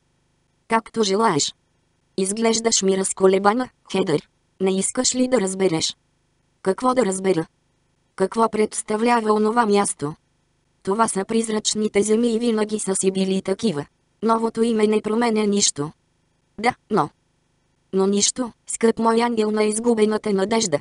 Трябва много да внимавам, освен ако не искаш да заемеш мястото ми по-рано, отколкото възнамеряваш. Да внимавам ли? Господарката на дълбоките поля има свободен достъп до всички места във Вирту. Наистина ли искаш да се срещнеш с нея? Съпругът ти прояви желание да се откаже от своята част от сделката им. Какво може да попречи на господарката на изгубените да те вземе за заложница и така да получи своето? Права си. Мислила съм за тази възможност. Просто имам много въпроси за Улфър Мартинда Амбри и Лидия. Разбирам. Аз също, но нека не забравяме за предпазливостта. Ейрадис допря ръка до корема си, намръщи се и се завъртя с гръб към тъмната скала, като се чудеше дали наистина е забелязала проблясък в зоркото око на стража. Разхождаха се по полята на верите. Замъкът Донерджак оставаше далеч зад тях. Джон, защо дойдохме чак тук? Попита Айрадис. За да избегнем уредите ми, някои от които могат да се използват срещу мен, отвърна той. От кого? Конкретно от някой, който ме принуди да сключа жестока сделка. О! Да, спомените ти от онова време наистина трябва да са много странни. Така е, но не разбирам какво имаше предвид, когато говореше за машините. Търся начин да й попреча да получи своя дял. Невъзможно, отвърна тя. Няма начин да изключиш смъртта от живота. Самата смърт като явление, не. Но може би смъртта като олицетворение, каквото и всъщност да представлява. Имам някои идеи за ефект на полето. Отначало просто исках да разработя защита срещу евентуално проникване през голямата сцена. Сега обаче ще проверявам абсолютно всички данни, които проникват с електромагнитния спектър в замъка Донерджак. Ще ги наблюдавам и записвам. Ще съставя огромен списък. И всичко неканено ще бъде спирано. Просто спирано тогава тя няма да е в състояние да грабне първородното ни дете и да избяга. Ами ако използва подставено лице? Ако е физическо, ще го третираме като всеки друг. Ако е нещо различно, струва ми се, че първо ще опитам статично електричество. После може би лазер. Ами ако някой наистина пострада? Океанът е голям, студен и дълбок. Спомням си музиката. Спомням си трона от кости. От части и обратния път. Кога ще инсталираш защитата? Основната система вече е монтирана, но се нуждае от грижлива настройка. Да речем, още няколко седмици. Добре ли се чувстваш? Много добре. Нашият син също, ако се съди по сълтата, които прави. Не се изтощаваш прекалено с работа, нали? Не, скъпа. Внимавам. Чудесно. Ще се връщаме ли вече? Добре. През следващия месец нямаше никакви експедиции. Ейрадис се разболя от грип и трябваше да пази леглото. Разтревоженият и съпруг и медицинското устройство се грижеха за нея. Тя бързо се възстанови, но не на време за отварянето на лунния портал. Когато заедно с призрачните си приятели се спусна в пещерата, Ейрадис вече вървеше като бременна жена, изпъчила напред на едрелия си корем. Макар да не казваше нищо, тя знаеше, че ако и този път не успеят, няма да прави повече опити до раждането на сина си. Преградата е изчезнала, съобщи призрачният кръстоносец, който беше настоял да мине пръв. Ейрадис остана с впечатлението, че коняк го е укорила за бягството му от Улфър Мартин да Амбри. Ами стражът? Попита Хедър. Не зная.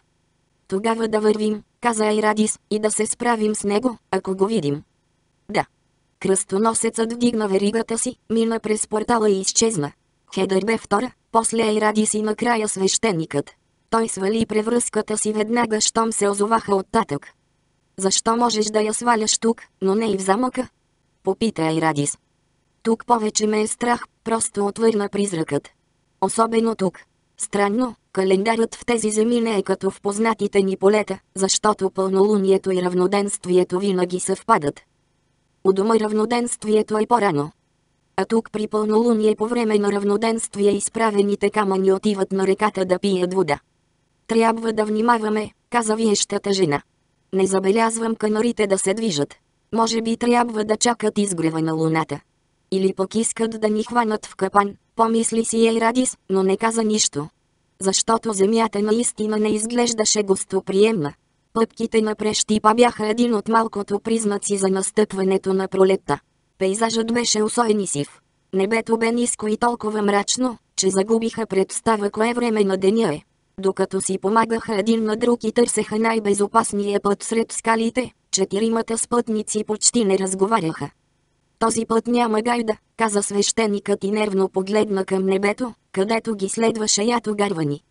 Да, а и тези гарвани като че ли са ни харесали. Да. Дворът на къщата пустееше. Нямаше ги дори кокошките, гълъбите и котката. Саксиите на прозорците бяха празни и зелените капаци бяха затворени. Вятърът бе навял и стаи папратови клонки. По настланата смирени черупки алея имаше дълбоки следи от влачене на нещо тежко, навярно мебели. Принесли са се, излишно отбеляза Айрадис. Веднага след предишното ни посещение, предполагам, прибави Хедър. Дали Улфър Мартин да Амбри се е оплашил да пусне Джон да Арси Донърджак в задния си двор, или причината е друга? Едва ли ще разберем, отвърна Айрадис. Искам да погледам наоколо, да видя дали не са оставили бележка. После ще се върнем у дома. Заболяха ме краката. Бележка нямаше. През един от капаците, който вятърът беше отворил, успяха да видят, че мебелите са покрити с чершафи и че килимите са навити на рула. С помощта на свещеника кръстоносецът отново затвори капака и го завърза с връзка за обувки. Колко странно, каза Айрадис, докато ги наблюдаваше. Амбри и Лидия се отнасяха към това място така, сякаш е истинско, а не Виртсайд. То си е истинско, упорито отвърна виещата жена.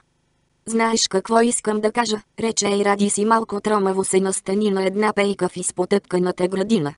Може би имат намерение някой ден да се завърнат. Ще им оставя бележка, че сме се отбили.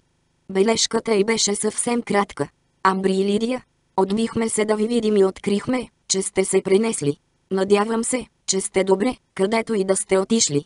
Най-добри пожелания за бебето. Ей ради с Арси Донърджак. Тя сгъна листа на три и го пъхна под тежката дървена врата.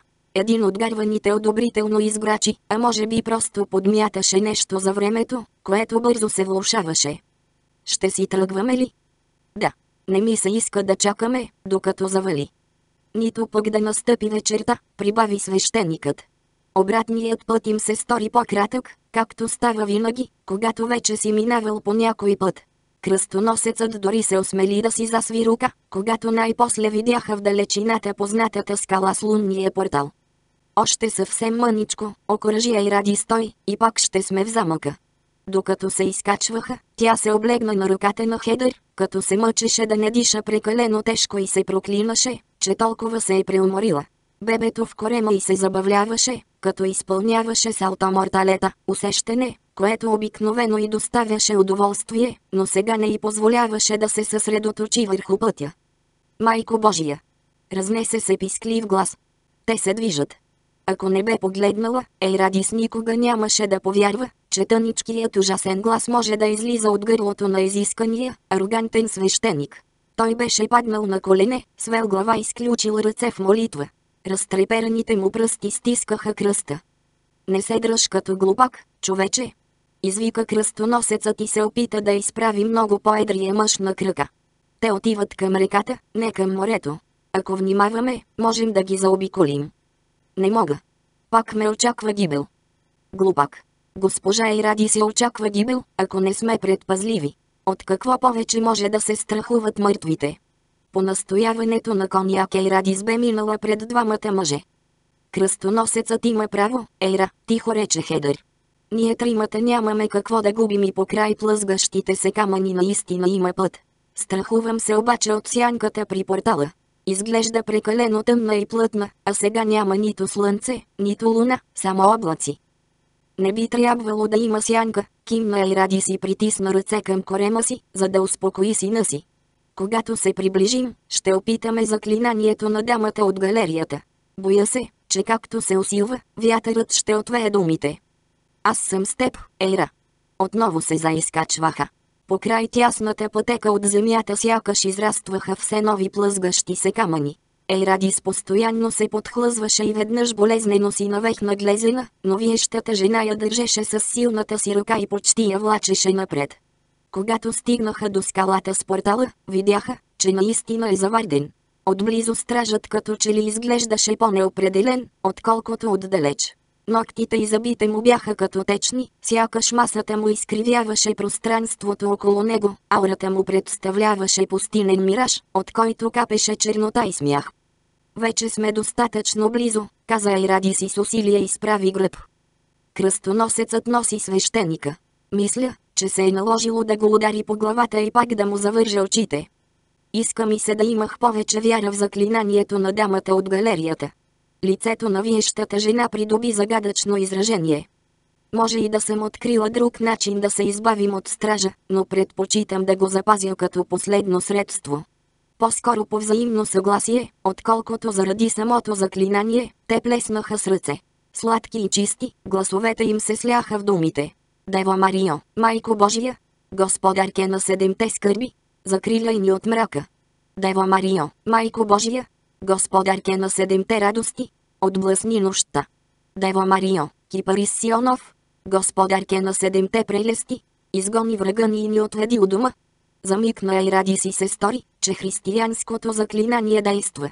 Стражът се сви, загуби прозрачността си, ногтите и зъбите му придобиха плътност.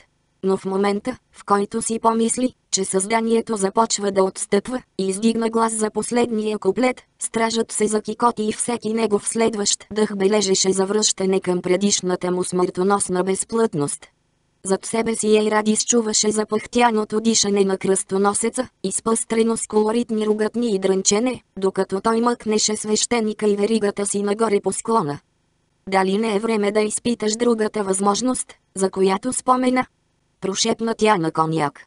Виещата жена извърна лице, но не и преди Айрадис да зърне ужасната скръп в сиво-зелените очи. Това може да те изложи на опасност в бъдеще, Ейрадис. Все още ли искаш да я използвам? Щом иначе трябва да останем тук, да.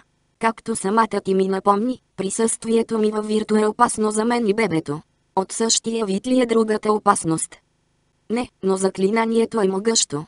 Може да привлече вниманието на господарката на изгубените, или още повече да го съсредоточи, ако вече знае, че си тук. Пей. Каза и ради си хвърли нервен поглед през рамо, макар да знаеше, че смъртта може да дойде от всички страни. Поемам риска. Добре. Коняк се обърна към стража. Чуло безсловесния вой, с който тя започна заклинанието си, създанието престана да се киска. Ейрадис се оглеждаше за незабелязани врагове и почти не я слушаше, докато не усети, че думите политат и докосват заспали кътчета в ума Ангел на изгубената надежда, владетелко на меча от вятър и обсидиан, отсечи алгоритмите на нашия враг. Не. Изпищя Ейрадис. Имай милост. От ужасните очи на виещата жена се стичаха сълзи, но тя продължи заклинанието си. Ейрадис усети, че се преобразява в другата си същност от времето на хаоса на сътворението, същност, чието имена си спомняше, но не и опиянителната й, безмилостна мощ. Докато издутият и корем се изглаждаше и опашката и на русалка се издължаваше, нейното неродено бебе риташе негодуващо. Когато поникнаха крилета й, Ейрадис отново изкрещя, после се издигна във въздуха сред дъжд от кръв и числа. Русалке под седемте танцуващи луни. Ти, която пееш песента на сирената, удави враговете ни в инфопотока. Нимфонологическото дърво. Дете на първото слово. Накарай противника ни да съжалява. Преобразяването беше бързо и болезнено. Вече крилата русалка, тя стисна в едната си ръка меча от вятър и обсидиан и развя ярките си драконови криле, за да се издигне нагоре. През очите на древните си познания и Радис вече не намираше препречилия портала страж за страшен. По-скоро и се струваше смешен, дори жалък, свит от ужас от величествения й облик. Съставните му проги лесно се поддаваха на разшифроване и можеха да бъдат разложени на коти битове, за да се превърнат в пръст, която щеше да натори дълбоките поля. Вдигнала меча от вятър и обсидиан, Ейрадис го направи и докато стражът падаше в забвение, тя усети студени ръце, които я блъснаха към скалата. Лунният портал се извиси пред нея като мрачна кръгла бездна. Ейрадис инстинктивно се опита да свие криле, защото знаеше, че са по-широки от отвора. Но не бе достатъчно бърза. Нещо, интерфейс. Ги разкъса. Без тях не можеше да лети, не можеше и да стои, защото нямаше кръка. Тя изпусна меча от вятър и обсидиан, сви ръце пред себе си, за да се предпази. Здрави метални пръсти я подхванаха и задържаха преди да падне върху пода на тунела. Господар Кейрадис. Рече Войти механичният му глас успя да изрази искрена загриженост. Ранена ли сте? Имате ли нужда от услугите на Медбот? Не. Да. Аз. Тя овладя дишането си и погледна надолу към тялото си. Отново беше човешко. Също толкова човешко, колкото преди коняк да започне заклинанието си. всички си бе на място, включително тромавата любима издотина, в която се намираше сина ти. Сякаш за да я успокои, че не е пострадало от нежеланото и преобразяване, бебето силно подритна. Добре съм, Войт, най-после успя да каже Ейрадис. Даже чудесно. Просто се стреснах. Този път имахме доста по-сериозни проблеми, отколкото очаквахме. В такъв случай няма нужда да пращам доклад или молба за помощ, нали? Предпочитам да не го правиш, Войт. Виещата жена стоеше пред лунния портал с безизразно лице и скръстени ръце, сякаш очакваше укор. В позата й нямаше нито намек за триумф или надменност. Всъщност, дори изглеждаше смалена и по-бледа от обикновено. Как? Ейрадис замълча и поправи въпроса си. Къде откри това заклинание? Откъде знаеше какво ще се случи? От многобройните ти имена, Ейрадис. Вече ти казах, че предишното ти съществуване те обвързва към мита по уникален начин. Заклинанието дойде при мен по каналите на сънищата, докато повтарях онова на дамата от галерията и се чудех дали християнската магия ще подейства на езическо създание. И просто дойде при теб, така ли? Не от плът, по-скоро на место другото. Открих, че призовавам ангелена. Не споменавай това име, прекъсна я Ирадис. Страх ме е от силата му. Това е твоето име. Беше. Великият потоп е древното начало на Вирту. Тогава не принадлежах на себе си, а на легионите на една от воюващите сили. А сега принадлежиш на себе си, така ли? Попита я коняк и подчертано погледна към издутия и корем. Сега съм Айрадис. Принадлежа на тази личност. Другата. Принадлежеше на друг и неговите нужди. Не съзнавах колко много съм се страхувала да не бъда призована в онова същество, докато ти, макар за кратко, не ме принуди отново да приема формата му. Разбирам, отвърна виещата жена. Някога аз бях Хедър, дъщеря на господаря. Сега съм коняк. А какво ще съм после? Мога ли отново да стана Хедър? Купнея за първата си същност, но след като те видях такава, каквато си била, разбирам нежеланието ти да се завръщаш към миналото, макар да ми се струва, че твоята първа същност притежава огромна мощ. Но не и свободна воля. Когато моят създател ми заповядваше, нямах друг избор, освен да се подчинявам. След дните на битки успявах да запазвам частица от себе си, по нещо от нещастието и славата си, и да изграждам онова, което се превърна в Айрадис. Ти ме помоли за милост. Думите на коняк не прозвучаха като въпрос. Не знаех, че мога да бъда призована в онази форма. И макар заклинанието да ми показваше каква е непосредствената ми цел, дълбоко в себе си усещах властта на своя създател. И се страхувах да не ме призове. Твоят създател ли? Един от онези върховни, обитателите на планината Меро. Повечето го наричат море бог и негово царство са огромните приливни маси от данни във Вирту.